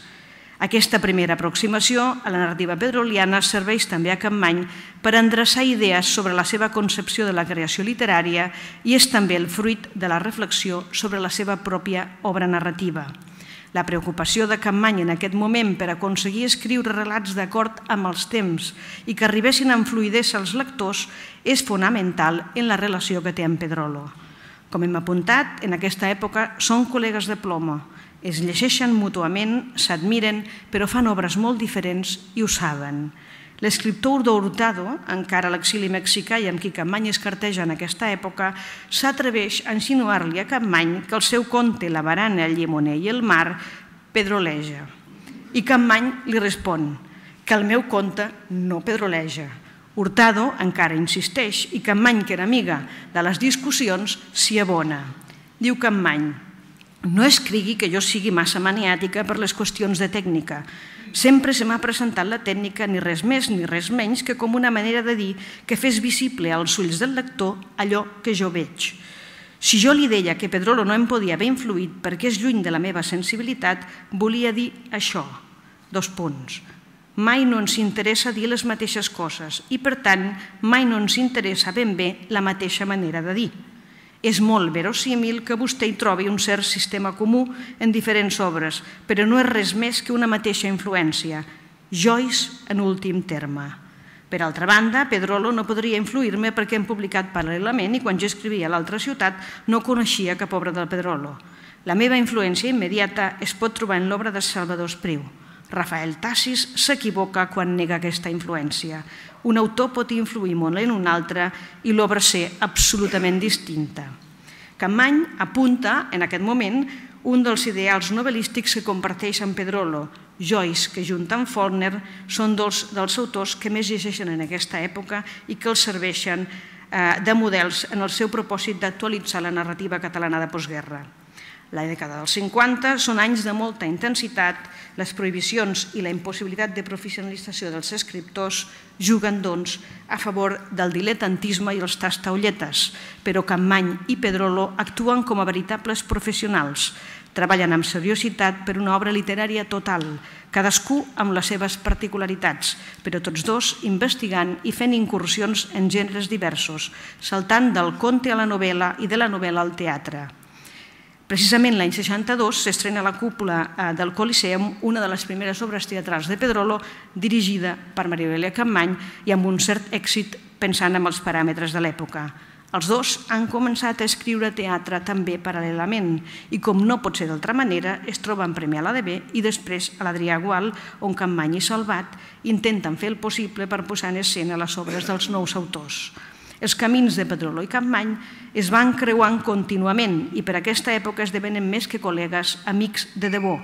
Per això, quan a començament dels 60 Campmany decideix deixar la docència i dedicar-se íntegrament a l'escriptura, Pedrolo li tira un cable perquè com ha estat nomenat director d'una col·lecció de novel·la negra edició 62, li ofereix feina de traductora. Pedrolo sabia de la ficció de Campmany per les novel·les de lladres i serenos, com ella les anomenava, i no dubta a comptar amb ella per incloure en la cua de palla autors tan significatius com Simenon, Fred Cassac, Terry Stewart o Pierre Begui. Campmany va avalar nombroses vegades en ambients i davant públics molt diversos la incorporació de la novel·la policíaca a la literatura catalana.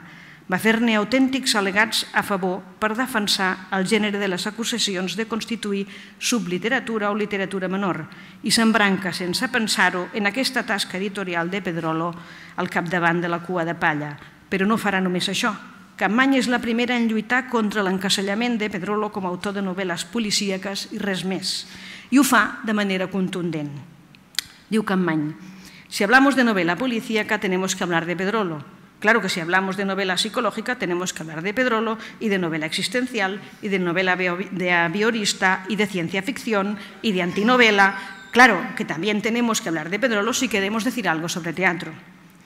El fragment és l'inici d'un article sobre novel·la policíaca i Pedrolo, però sempre deixant clar i a l'avançada que Pedrolo és molt més que un bon autor de novel·les policíaques.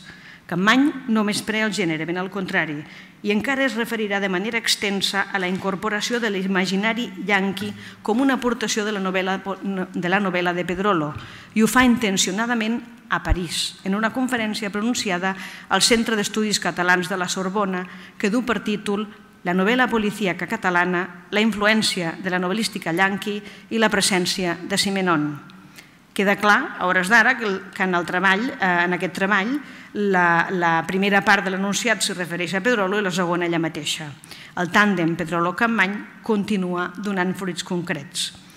Durant la dècada dels 70 invertim les posicions i Campmany és nomenada directora de la col·lecció de novel·la Joanom Martorell a l'editorial Nova Terra, que inclou autors catalans i traductors eh, d'autors forans.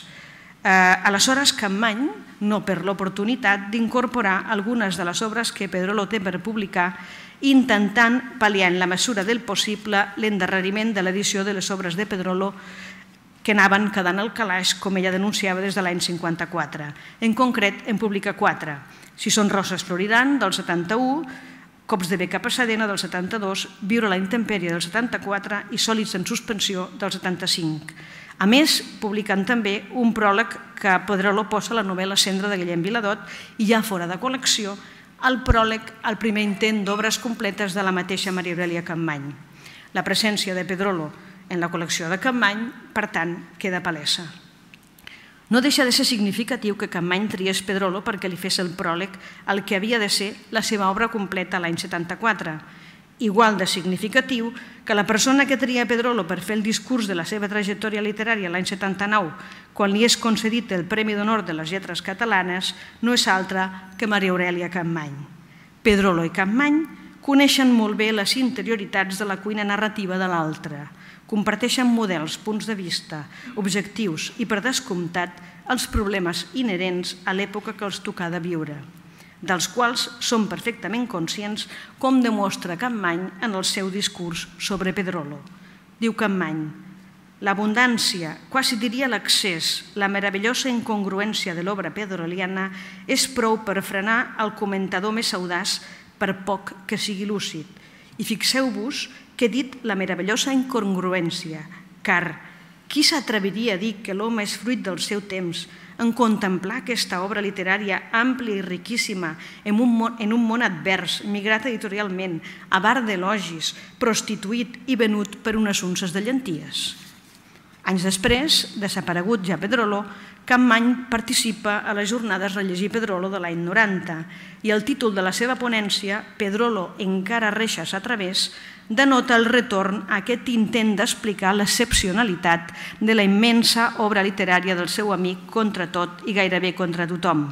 D'alguna manera, Campmany s'està referint també a la pròpia trajectòria paral·lela i viscuda fent front comú a adversitat. Diu Campmany, no em serà difícil explicar o tractar d'explicar el marc com Pedrolo va centrar la seva, pròpia, la seva pròpia condició humana. I dic que no em serà difícil perquè no és que pertanyem a la mateixa generació, és que vam néixer el mateix any, l'any 18, mentre Europa es liquidava la Guerra Bonica, com la van anomenar, i vam anar a l'escola en temps de la dictadura, i vam viure admirats l'esclat de la República i vam sofrir sobre la pròpia pell la guerra i la postguerra, i vam haver d'esperar la vaga dels tramvies per poder publicar. Les circumstàncies històriques no els eren favorables, però així i tot són dos escriptors que destaquen pel seu doll creatiu i la professionalitat de la seva feina.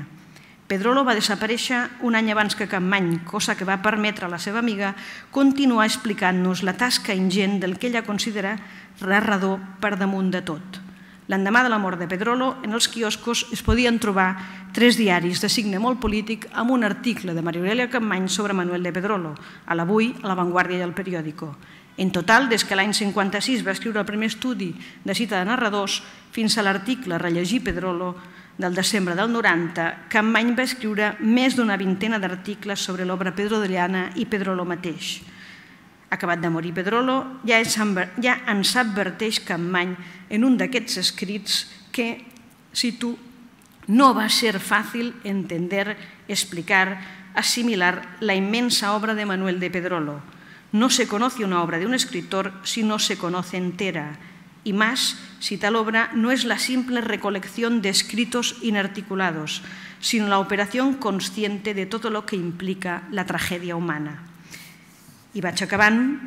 Aquest any Pedrolo ens dona l'oportunitat d'escoltar les paraules de Campmany i rescabalar-lo com es mereix amb edicions i estudis que resituïn la seva figura en el panorama de la literatura universal. Però, sobretot, és l'oportunitat de llegir Pedrolo, perquè, com va dir María Aurelia Campmany, precisamente porque escribió tanto, tenemos que leer mucho. Leer, esto es leer a Pedrolo, ya que por ahí se empieza el aprendizaje de escribir. Dit d'una altra manera, llegir i rellegir Pedrolo com a garantia de continuïtat per als escriptors novells, perquè aquesta és la funció de Baula per a la continuïtat que perseguien Campany i Pedrolo. La relació entre Maria Campany i Manuel de Pedrolo era una amistat sincera entre col·legues de ploma que s'admiraven, es respectaven i s'enriquien amb l'aprenentatge de l'altre. Es van proposar d'ajudar a construir una novel·lística catalana contemporània d'acord amb els temps i que estigués a l'alçada de qualsevol altra literatura – van experimentar amb el gènere, van introduir els nous corrents de la narrativa europea i americana del moment des de la pròpia obra o per mitjà de traduccions.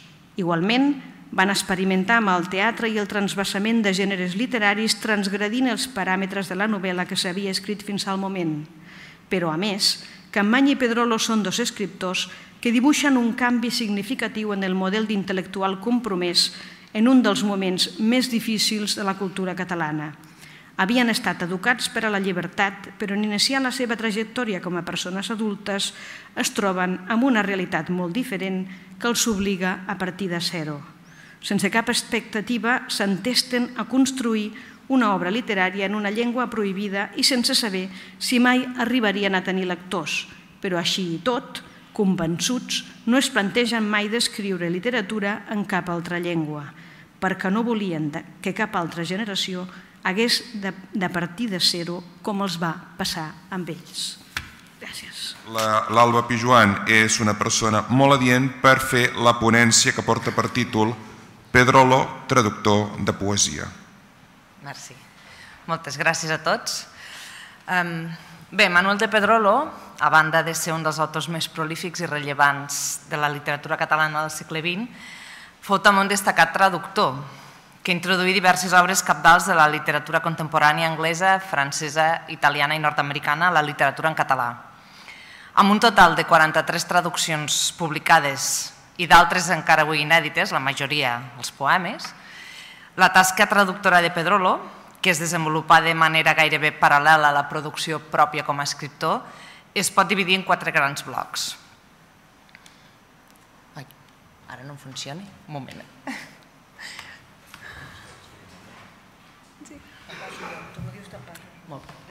Aquí um, volia il·lustrar aquest apartat de la traducció amb aquesta cita en què Manuel de Pedrolo parla del, que l'escriptor professional doncs, és també aquell que fa una sèrie de feines relacionades amb el fet d'escriure. O sigui, que no tot ha de ser la seva obra.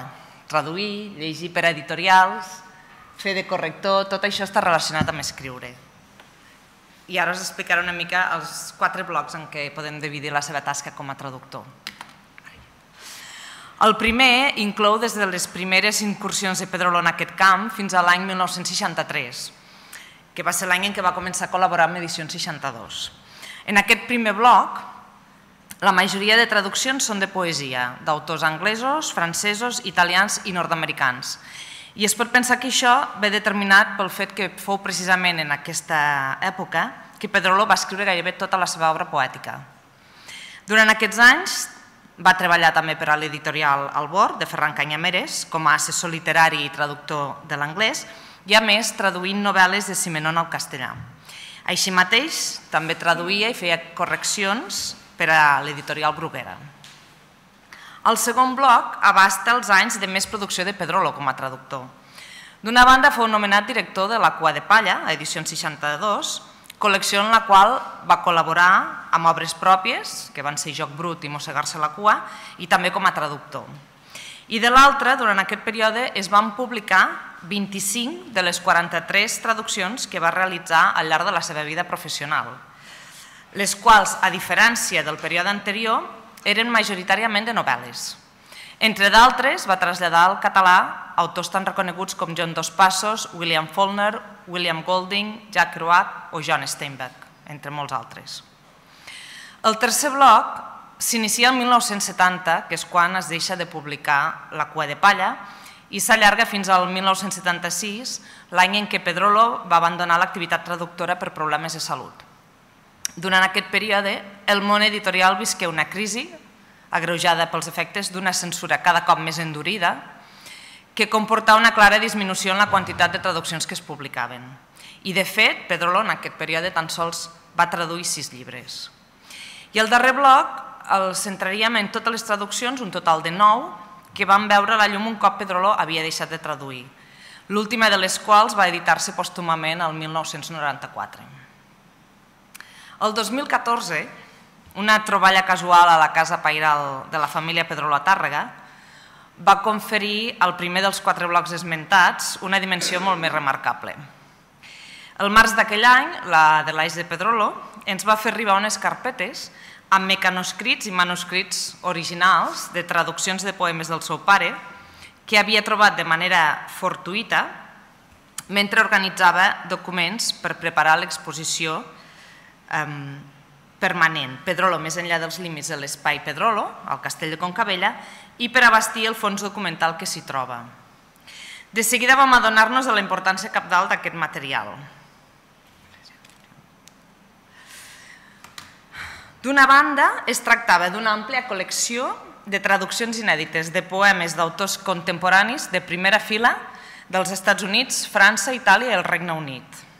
I de l'altra, omplia un buit en la trajectòria de Manuel de Pedrolo com a traductor, atès que de les 43 traduccions publicades, només dues són de poesia, a banda d'alguns poemes sols que es van publicar en alguna revista o en els diaris personals. Les carpetes, que contenien les traduccions de 148 poesies escrites per 50 poetes diferents, estaven organitzades en dos grups. Ai, no es veu gaire bé. Bueno, hi ha molta llum. És llàstima. Primerament, eh, un conjunt de poemes mecanografiats en paper de ceba, d'INA 4, no sé si es veu, és que no es veu veure res, no? Sí, una mica? Ah, ara, potser. Que vam considerar versions definitives, perquè no presentaven gairebé cap correcció. Aquests estaven presentats a doble espai, amb el títol en majúscules, suposo que ho podeu veure dalt, el nom de l'autor subratllat a la part dreta alta del full, i el número de pàgina del poema centrat a dalt de tot. En aquest cas, per exemple, aquest poema que té dos fulls, a dalt hi havia el número 2, quan tenia més d'un full. No? Mm, al final del poema hi constava l'any de la traducció i sovint s'especificava si era una versió o una traducció, a criteri de Pedrolo. A vegades hi posava versió, a vegades traducció. A més a més, en la majoria dels casos, a la part esquerra, que això ja deu ser impossible quasi d'intuir, però hi és, a la part esquerra del, hi figurava un nombre escrit amb llapis que corresponia al número de pàgina del recull global de traduccions de poesia tal com Pedrolo l'havia estructurat. D'altra banda, a part d'aquesta carpeta, vam trobar-ne eh, quatre petites carpetes en format d'INA 5 amb cobertes fetes amb paper d'embalar on hi havia un adhesiu blanc amb el títol de la carpeta mecanografiat en majúscules al mig i l'any de les traduccions escrit amb llapis a la cantonada esquerra inferior. La primera d'aquestes carpetes, que és aquesta, era versions de l'anglès, datada de 1949. I aquí s'incloïen traduccions mecanografiades de poemes d'Ouden, Berryman, Hausman i Nicholson. I aquí teniu el, la foto de la coberta i un, un exemple del que hi ha dins, que era un, la traducció dels meus somnis són d'un camp enllà de Hausman. Fixeu-vos aquí posa traducció l'any 49, al final. La, després, l'altra carpeta era versions del francès, i aquesta, la data, datada entre 1947 i 1949.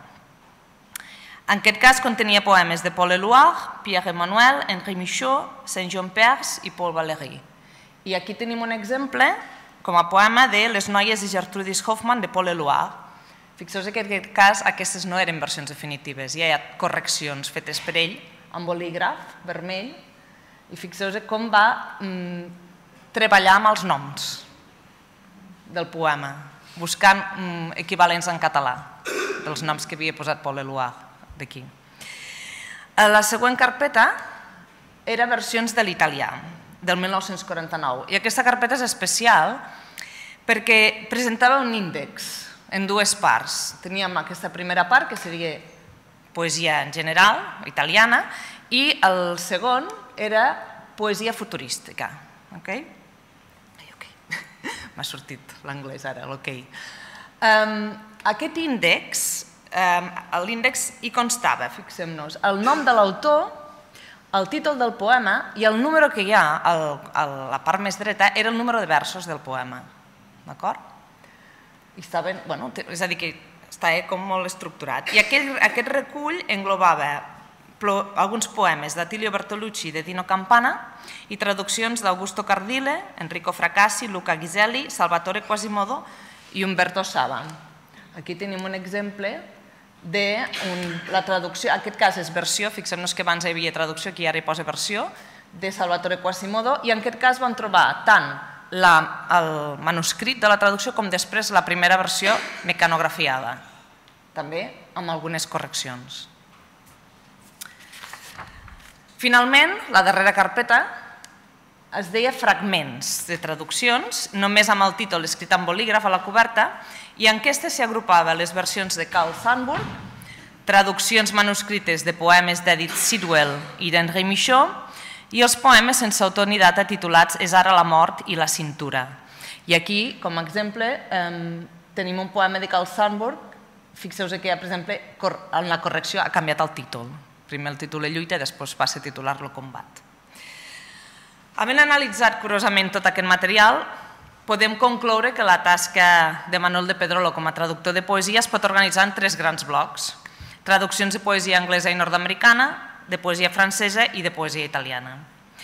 D'una banda, Pedrolo va traduir 75 poemes de l'anglès escrits per 28 autors diferents que van produir llur obra poètica en un període de temps que abasta des de principis del segle XX fins a la dècada dels anys 60 i que van ser fundadors o membres referents de diversos moviments literaris. Podem destacar, per exemple, Hausman, Ezra Pound, Hilda Doolittle, Thomas Eliot, Cummings, Dylan Thomas, Gregory Corso, però bé, tots, la majoria, autors molt destacats de literatura nord-americana i anglesa. En quant a la poesia francesa, Pedrolo va traduir 25 poemes de 8 autors diferents, l'obra dels quals se situa entre finals del segle XIX i mitjans del segle XX i eh, d'autors que esdevingueren icones de moviments com el simbolisme, el surrealisme i la poesia de la resistència. En aquest grup hi trobem traduccions de Charles Baudelaire, Mallarmé, Arthur Rimbaud, Paul Valéry o Paul Eluard. I finalment, pel que fa a la poesia italiana, en Pedrolo va traduir 44 poemes de 14 autors diferents, que produïren llur obra en un període que abasta des de la Primera Guerra Mundial fins als anys 50. La majoria dels poetes traduïts poden incloure's en dos dels moviments literaris més rellevants d'aquesta etapa, el futurisme i l'hermetisme. I sobresurten poetes com Filippo Tommaso Marinetti, Enzo Mainardi, Giuseppe Ungaretti, Salvatore Quasimodo, Dino Campana o Umberto Saba. Tot i que tots són força destacats. Després d'haver realitzat un estudi detallat de totes aquestes traduccions de poesia, la immensa majoria de les quals romanen inèdites, hem pogut arribar a diverses conclusions. Primerament, hem pres consciència que no fou pas per casualitat que Pedrolo s'iniciés en l'activitat traductora amb el gènere poètic.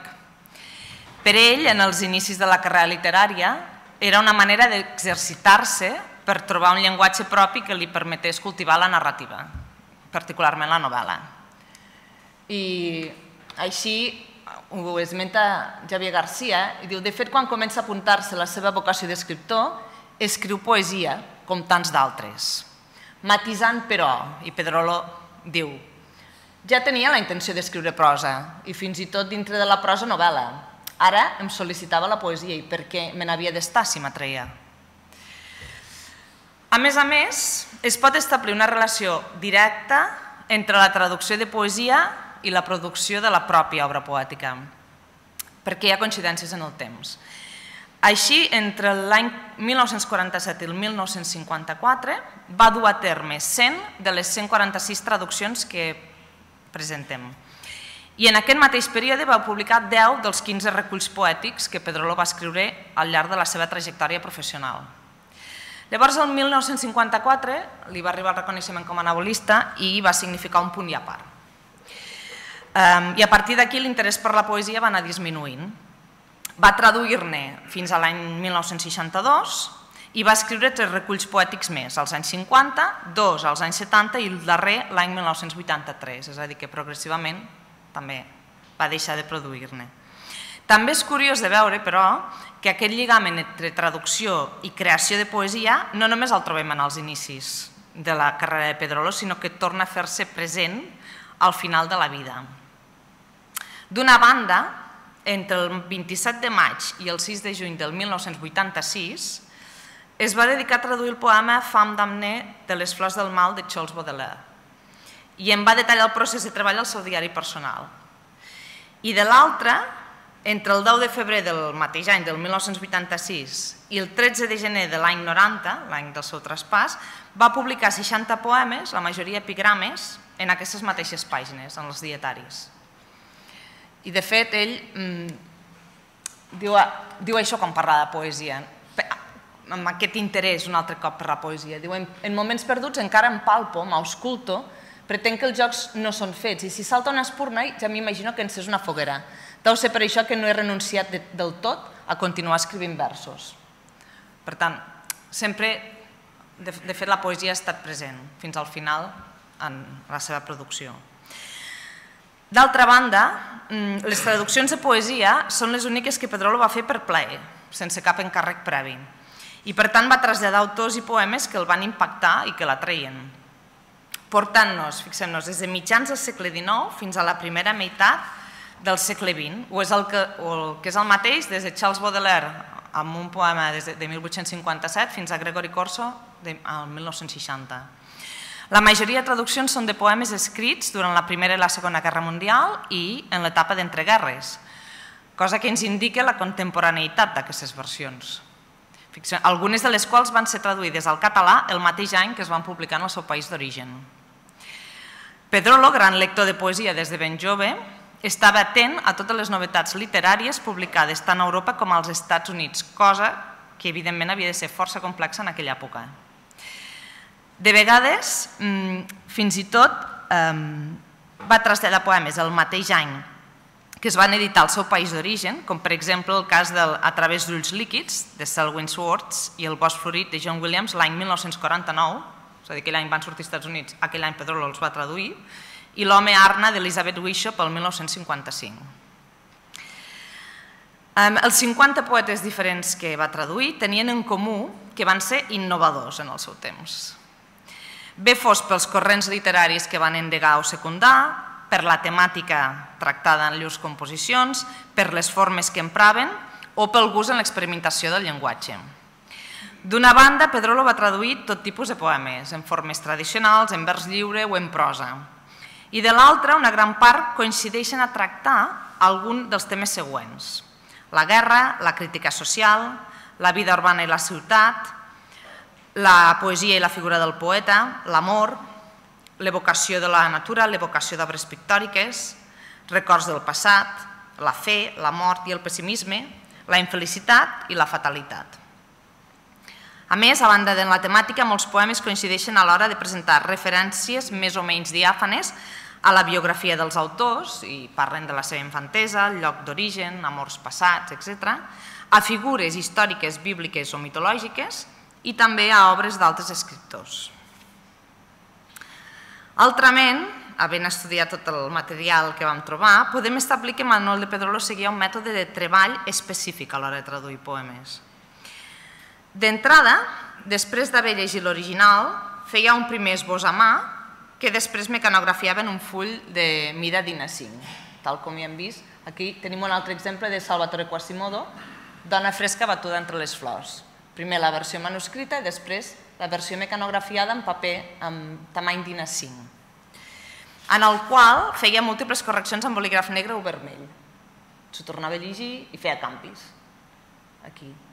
I després, mm, un cop satisfet amb el resultat, traslladava el text a màquina en paper de ceba de mida d'INA 4, passant a considerar-lo definitiu i tan sols fent i si calia correccions d'errors tipogràfics. Aquest és un dels pocs poemes, de tots els que he esmentat, que estan publicats, que va aparèixer l'any 1960 a la revista Inquietud Artística.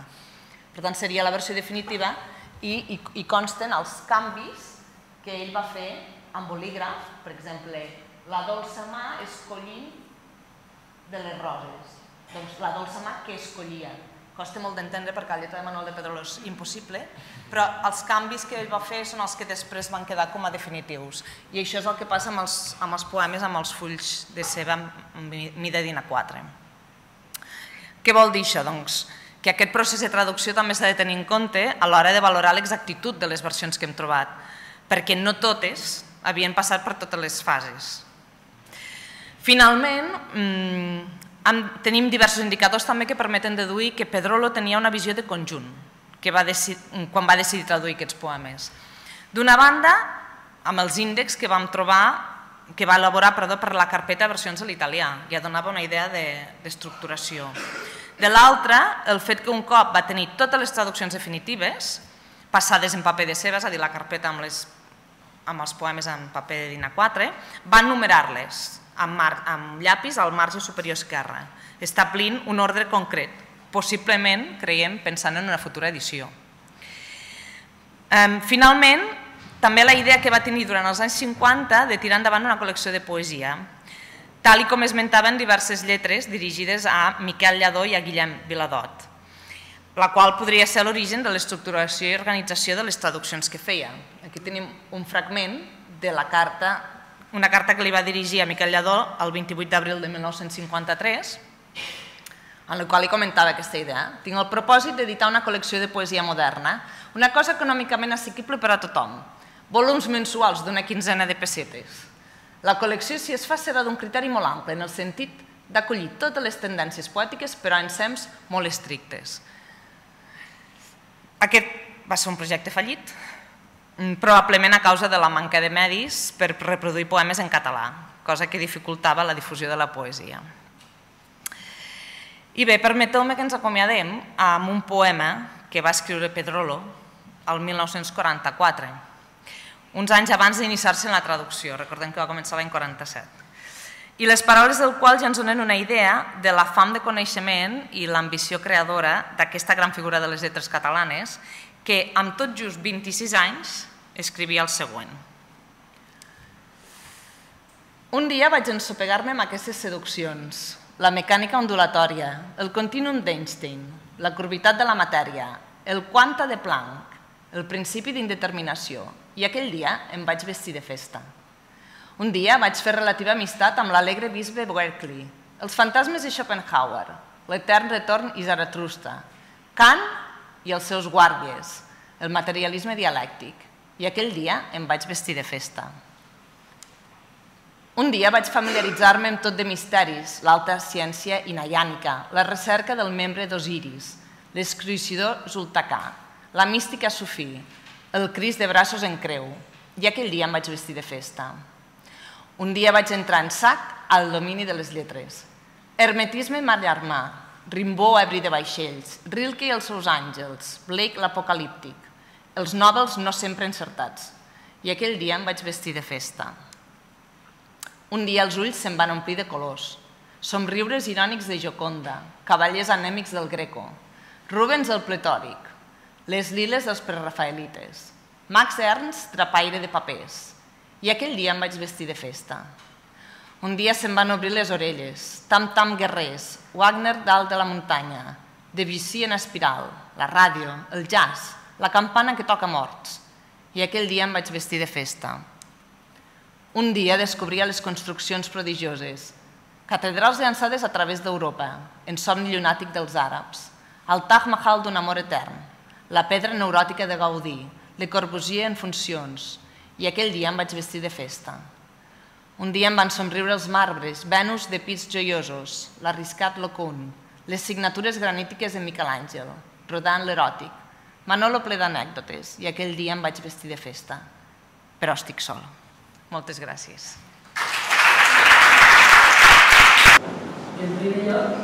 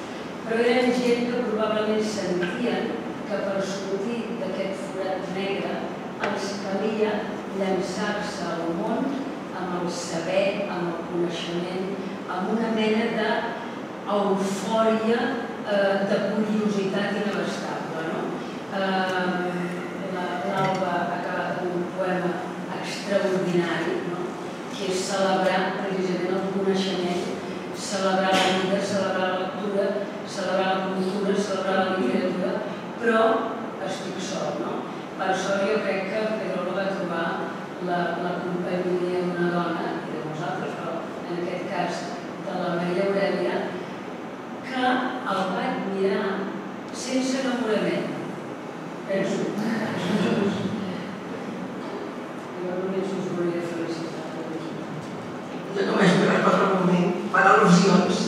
Evidentment penso que tot el que has dit és absolutament cert. I jo destacaria això que has dit, aquesta dimensió filosòfica i dialèctica i l'amor pel coneixement i la cultura que reflecteix molt bé el poema, que crec que era un dels grans, del, dels grans valors d'aquests autors, no?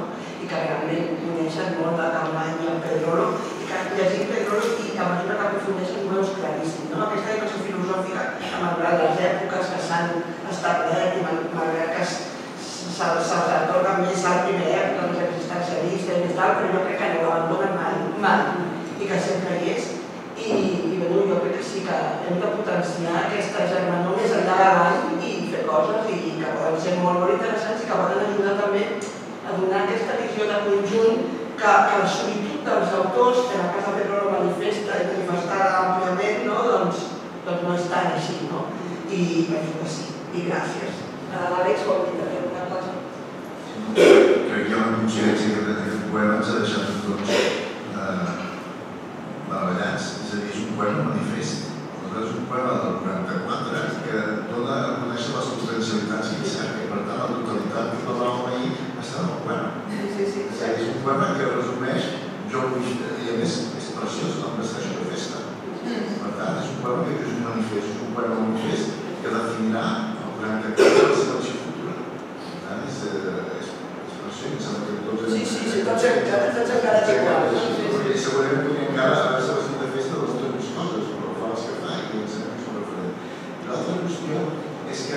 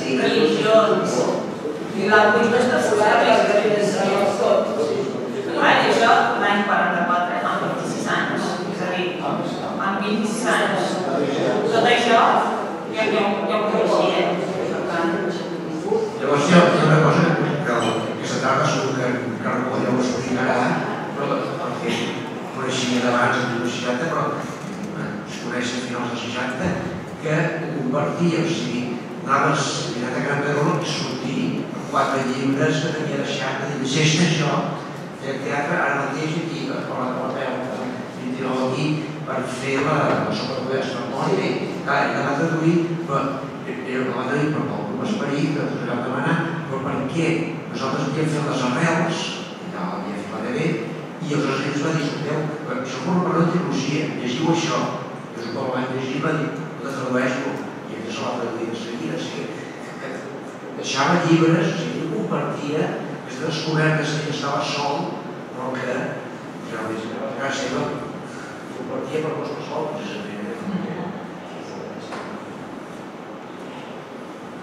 A mi m'ha agradat molt aquestes, aquestes llistes que ens has tret, perquè m'han fet pensar molt en una exposició eh, vostra de la Fundació que vam tenir a Petúria i coses que vam parlar molt poc, que és aquella exposició de- sobre poesia concreta. Esclar, he vist on sortien doncs, els poemes objecte, els poemes visuals, els poemes collage, no recordo quan vaig veure aquesta- aquella exposició, Exacte, que no entenia res, no és veritat, però com és que no ho feia tot això no ho sabia. I, i, i veient aquestes llistes de lectura ens I diuen... llavors també doncs, sortiria quan no s'hauria traduït també penso molt i l'ha escrit. Penso, i en. Jo només voldria fer una, una reflexió sobre l'epistolari del Pedró. És a dir, ha sortit aquest matí en diverses ponències i potser el que caldria és recuperar tot l'epistolari del Pedró, clar, els dos volums del, que va preparar el Xavier Garcia l'any 97 primera són introbables i són incomplets. Llavors potser caldria, perquè més s'ha dit que justament que és la, la pedrera d'on hi ha moltes idees que seran els seus, les seves obres de teatre. Per tant, potser és una feina que clar que s'hauria d'intentar fer d'una vegada, que és tot aquest epistolari.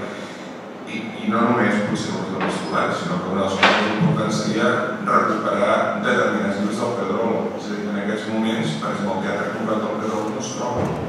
No sé si hi ha la proposta de, de publicar-lo aquest any. Doncs, els dos volums que hi ha a 62, n'hi ha un que encara es pot trobar en alguna plataforma de llibres de que és el segon volum, però el primer no hi és. No hi és. És un drama sobreexplorar. Hem estat satisfets amb tantes obres que estan sortint, però evidentment, enmig d'aquesta producció, la mancança és sempre superior a la, allò que surt. Sí, el tema del pistolari, jo ens parlo que l'obra ens torna està escanejant, digitalitzant. Eh, estan digitalitzant les obres, tota la, els manuscrits originals, que molts no es podran penjar a la xarxa perquè tenen drets d'autor, però els que no els tenen sí que seran penjats. I també tenim intenció de l'epistolari complet, també escanejat, a banda d'altres materials inèdits que encara no, no són a l'abast de els lectors.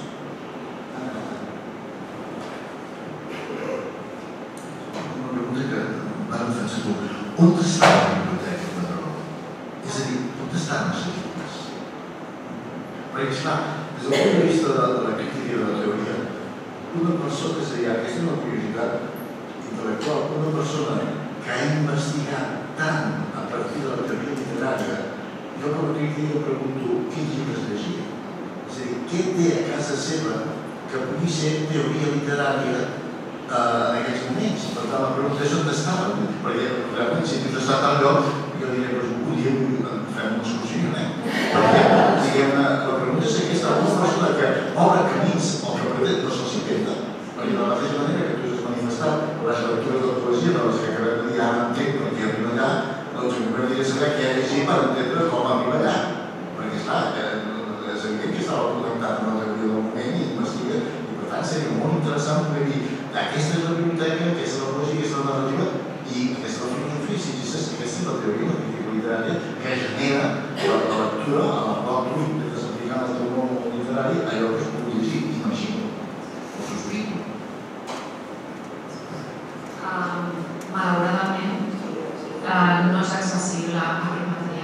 la casa museu s'encarrega perquè la realesa va unir tota la biblioteca al carrer Carlet Nou la va portar cap allà, o sigui és a la casa. I no només és, aquest material, sinó que també la biblioteca de l'avi i del pare, que ell de petit també llegia, o sigui que, i també hi ha una cosa del de Concabella, allà mateix, a la casa. I sí, és increïble. De fet, nosaltres vam fer unes de les fotografies de la biblioteca, una selecció, i la vam traslladar al castell de Concabella. Es veuen, es veuen els llums dels llibres i és que llegia de tot, de tot. I, i, i és, és cap dalt, vull dir, conèixer aquestes lectures per després poder fer. Poder veure les fonts d'on ell provenia. Exacte, sí, sí. Per això urgeix el tema de la casa museu. O traslladar aquesta biblioteca en alguna altra, per exemple, al, al, a la biblioteca de, de Tarda, per exemple, perquè sigui accessible, si realment al final la casa no... Però clar, la d'allà és vol que es quedi la biblioteca a la casa. I ho entenc perfectament, perquè està desdada tal com la va deixar el seu pare. Per tant, també té interès veure com va col·locar els llibres, com els va ordenar, com els va engraçar. És molt important. Sí, a més, el que hi ha una curiositat eh, estranyíssima, però, però enciclopèdica, que s'ha de dir, però allò, que quan va morir Pedro, eh, van quedar mesos i mesos, al carregar que sobre la nevera, eh, una pila dels, dels últims llibres, de les últimes compres de vida de Can Sant Antoni. Llavors, anem a la, la veia, es va dir, i això val la pena, escolta, clar que val la pena, no? Llavors, sobretot hi havia llibres de bruixeria, llibres d'aquesta bruixeria, per Aquesta, això, d'aquestes llibres mexicans, de, de, de, la, de les brujas actuales, los enigmas de los ovnis, i totes aquestes coses, i ell, si tot no tinc temps, i això, no? Doncs els llibres aquests del doble o res, i el li fa una segona dupla, que el que va de tarra, aquestes coses que, introdueix tot el que és eh, sectes i esoterisme i religions estranyes, i unes piles allà, i ell comprava i ja no tenia esma de, de, de, de dreçar-ho. I quan anava per l'estiu pujava a Tàrrega, omplia maletes i se les portava a Tàrrega, i allà anava fent les estatges.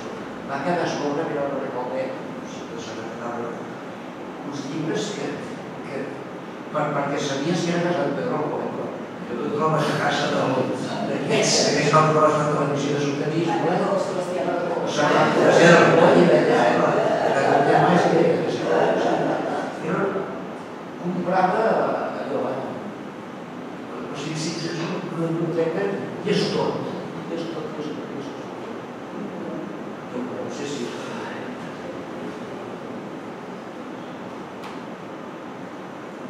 Té alguna pregunta més? Bé, les intervencions d'aquest matí he pensat molt en el documental Trencar l'Oblit, perquè hi ha un moment que el doctor Moles diu que el en tot solat, i utilitza aquest concepte, tot solat ell mateix.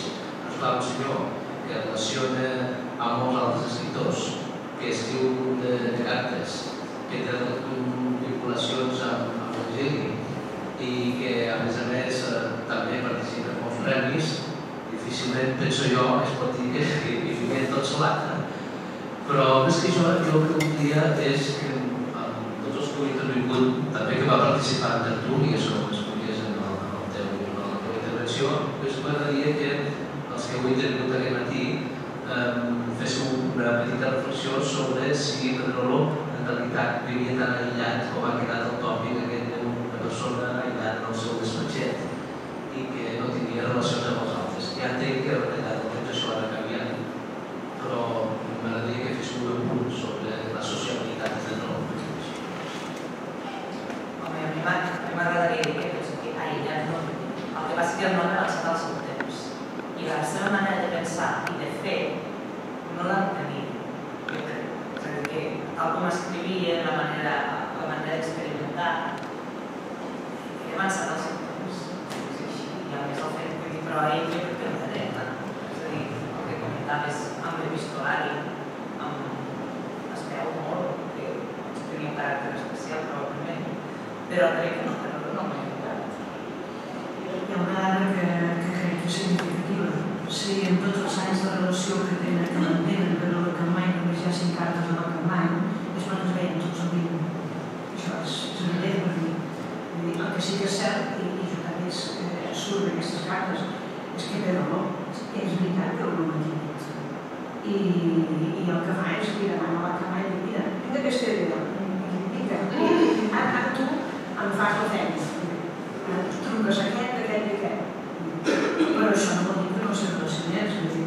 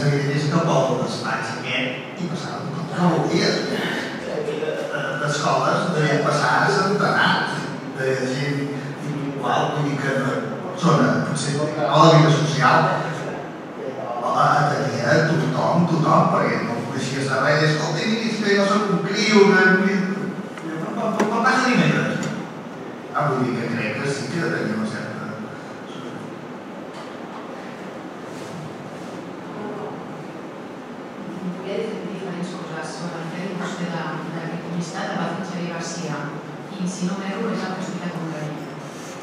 I hi ha una còpia també a, a, la, casa, museu que li va donar la cartilla de l'ESCA. Sí, sí, que la va Sí, sí. La va fer Xavier Garcia i ell tenia també la... Li va, li la carta de l'ESCA que engracés alguns dels llibres perquè eh, van caure per un accident i...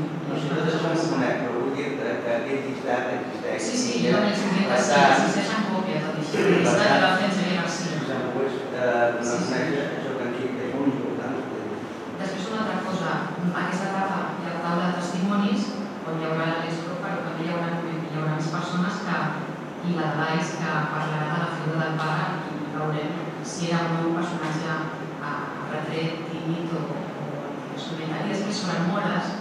parla personalment, perquè en un article que vaig escriure parlava d'això, de la censura que també eh, les editorials per al principi que la cosa no publica, no? i el tema que jugues, obert. I en Mola sempre em deia, si us plau, això que dic, No és cert, va ser Max Cara i no pas jo, o sigui, més persones els que li van dir que no, que no, perquè al cura li seria molt de greu, deien, no era jo personalment la persona que va decidir no publicar, sinó que eren més Закона национальной распространяется режима асбестос в основе межкрупнироспускателя.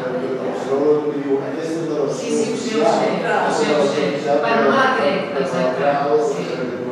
Sí, sí, sí. Sí, sí, está, τα δύο μέσα, σκέφασε όλα, αλλά, αλλά δεν ξέρω, αλλά, αλλά, αλλά, sí, sí, sí. Ese es curioso. Pues yo hice pasado un buen debate.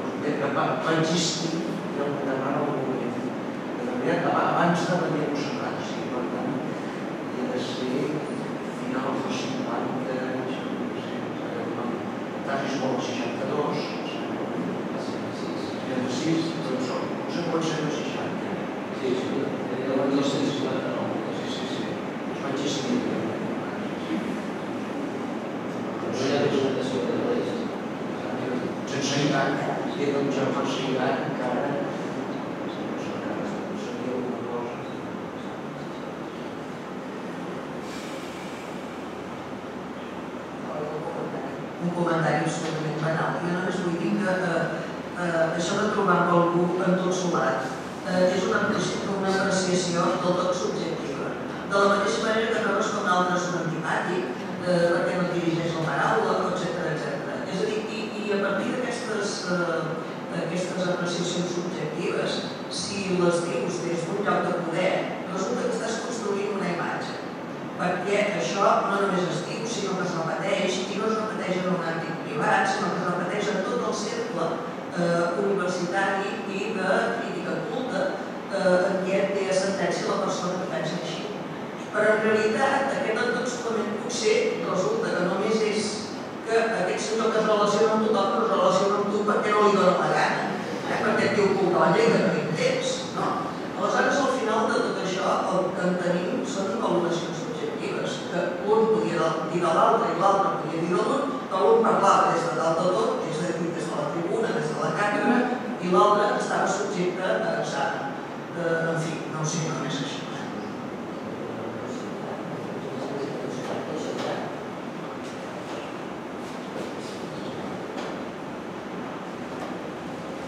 Bé, també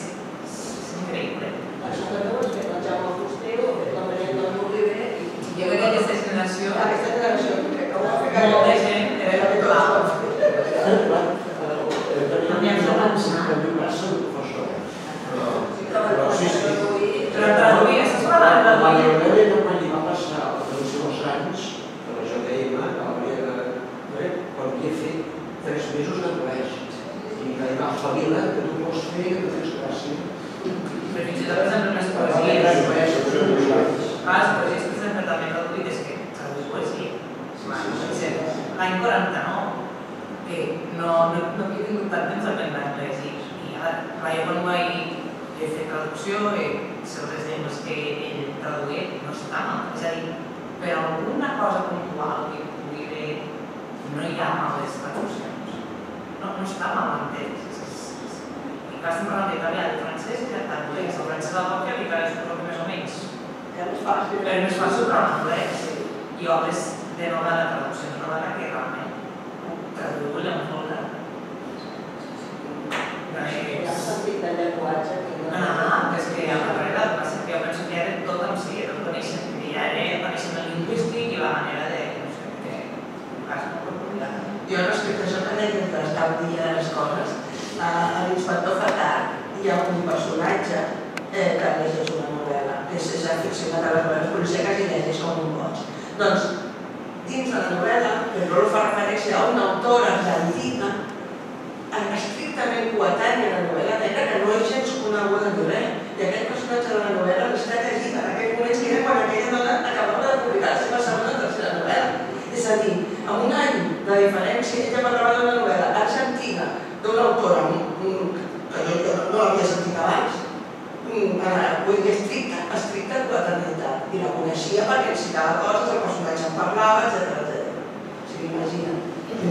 La conclusió és que serà Toni tot el món. Deu ser això, les dones argentines... No, no, no. La pública de Santa Clara.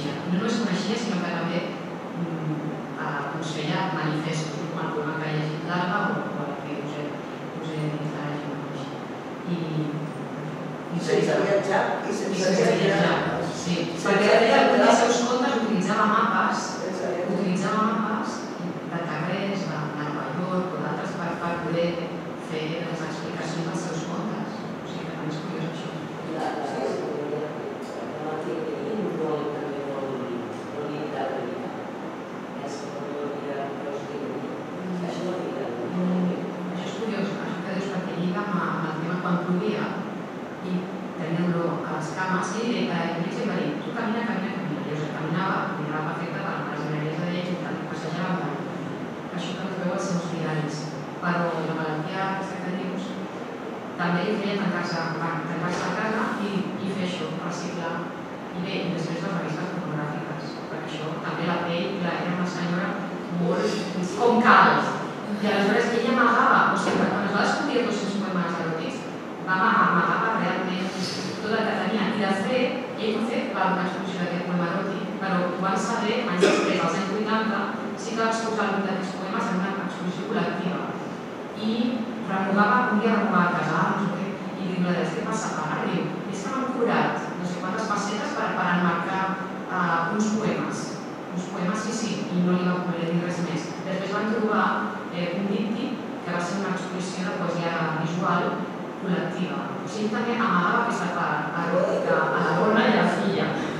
I les quals, i després la resta de l'arxiu hi ha revistes fotogràfiques. I calendaris de l'època, eh, dels, dels, dels caminers, dels, dels, dels, dels, dels, Jo he llegit l'obra, no queda cap dubte d'aquesta faceta. Sí, jo volia comentar una cosa abans del que estaves explicant. Eh, quan vaig llegir article sobre la poesia concreta de, Pedrolo i explicaves això, que hi havia poemes que estan fets sobre imitacions, eh, jo havia estat treballant en com posava noms, eh, és a dir, com, eh, com jugava eh, a l'hora de donar noms i donar pistes als lectors, Narcís Uller, a través de les seves obres, vaig pensar que potser des de la semiòtica seria interessant veure si és que hi ha una lectura irònica també d'aquesta utilització de les invitacions per fer eh, segons poesies. Clar, perquè et mires la poesia i no et mires el suport i, i segur que l'autor a l'hora d'utilitzar aquell retall d'invitació a l'hora de no sé què, eh, resulta que s'estava divertint moltíssim. Eh, dir, no és que no tinguis paper que aprofités aquell, eh, segurament una altra cosa. No? I aleshores em va acudir que segurament aquesta lectura, és a dir, anar a buscar la ironia, anar a buscar aquest joc entre eh, el poema en si i el suport, seria també un altre camí a explorar. I que segur, segur eh, que, eh, que havia cosa.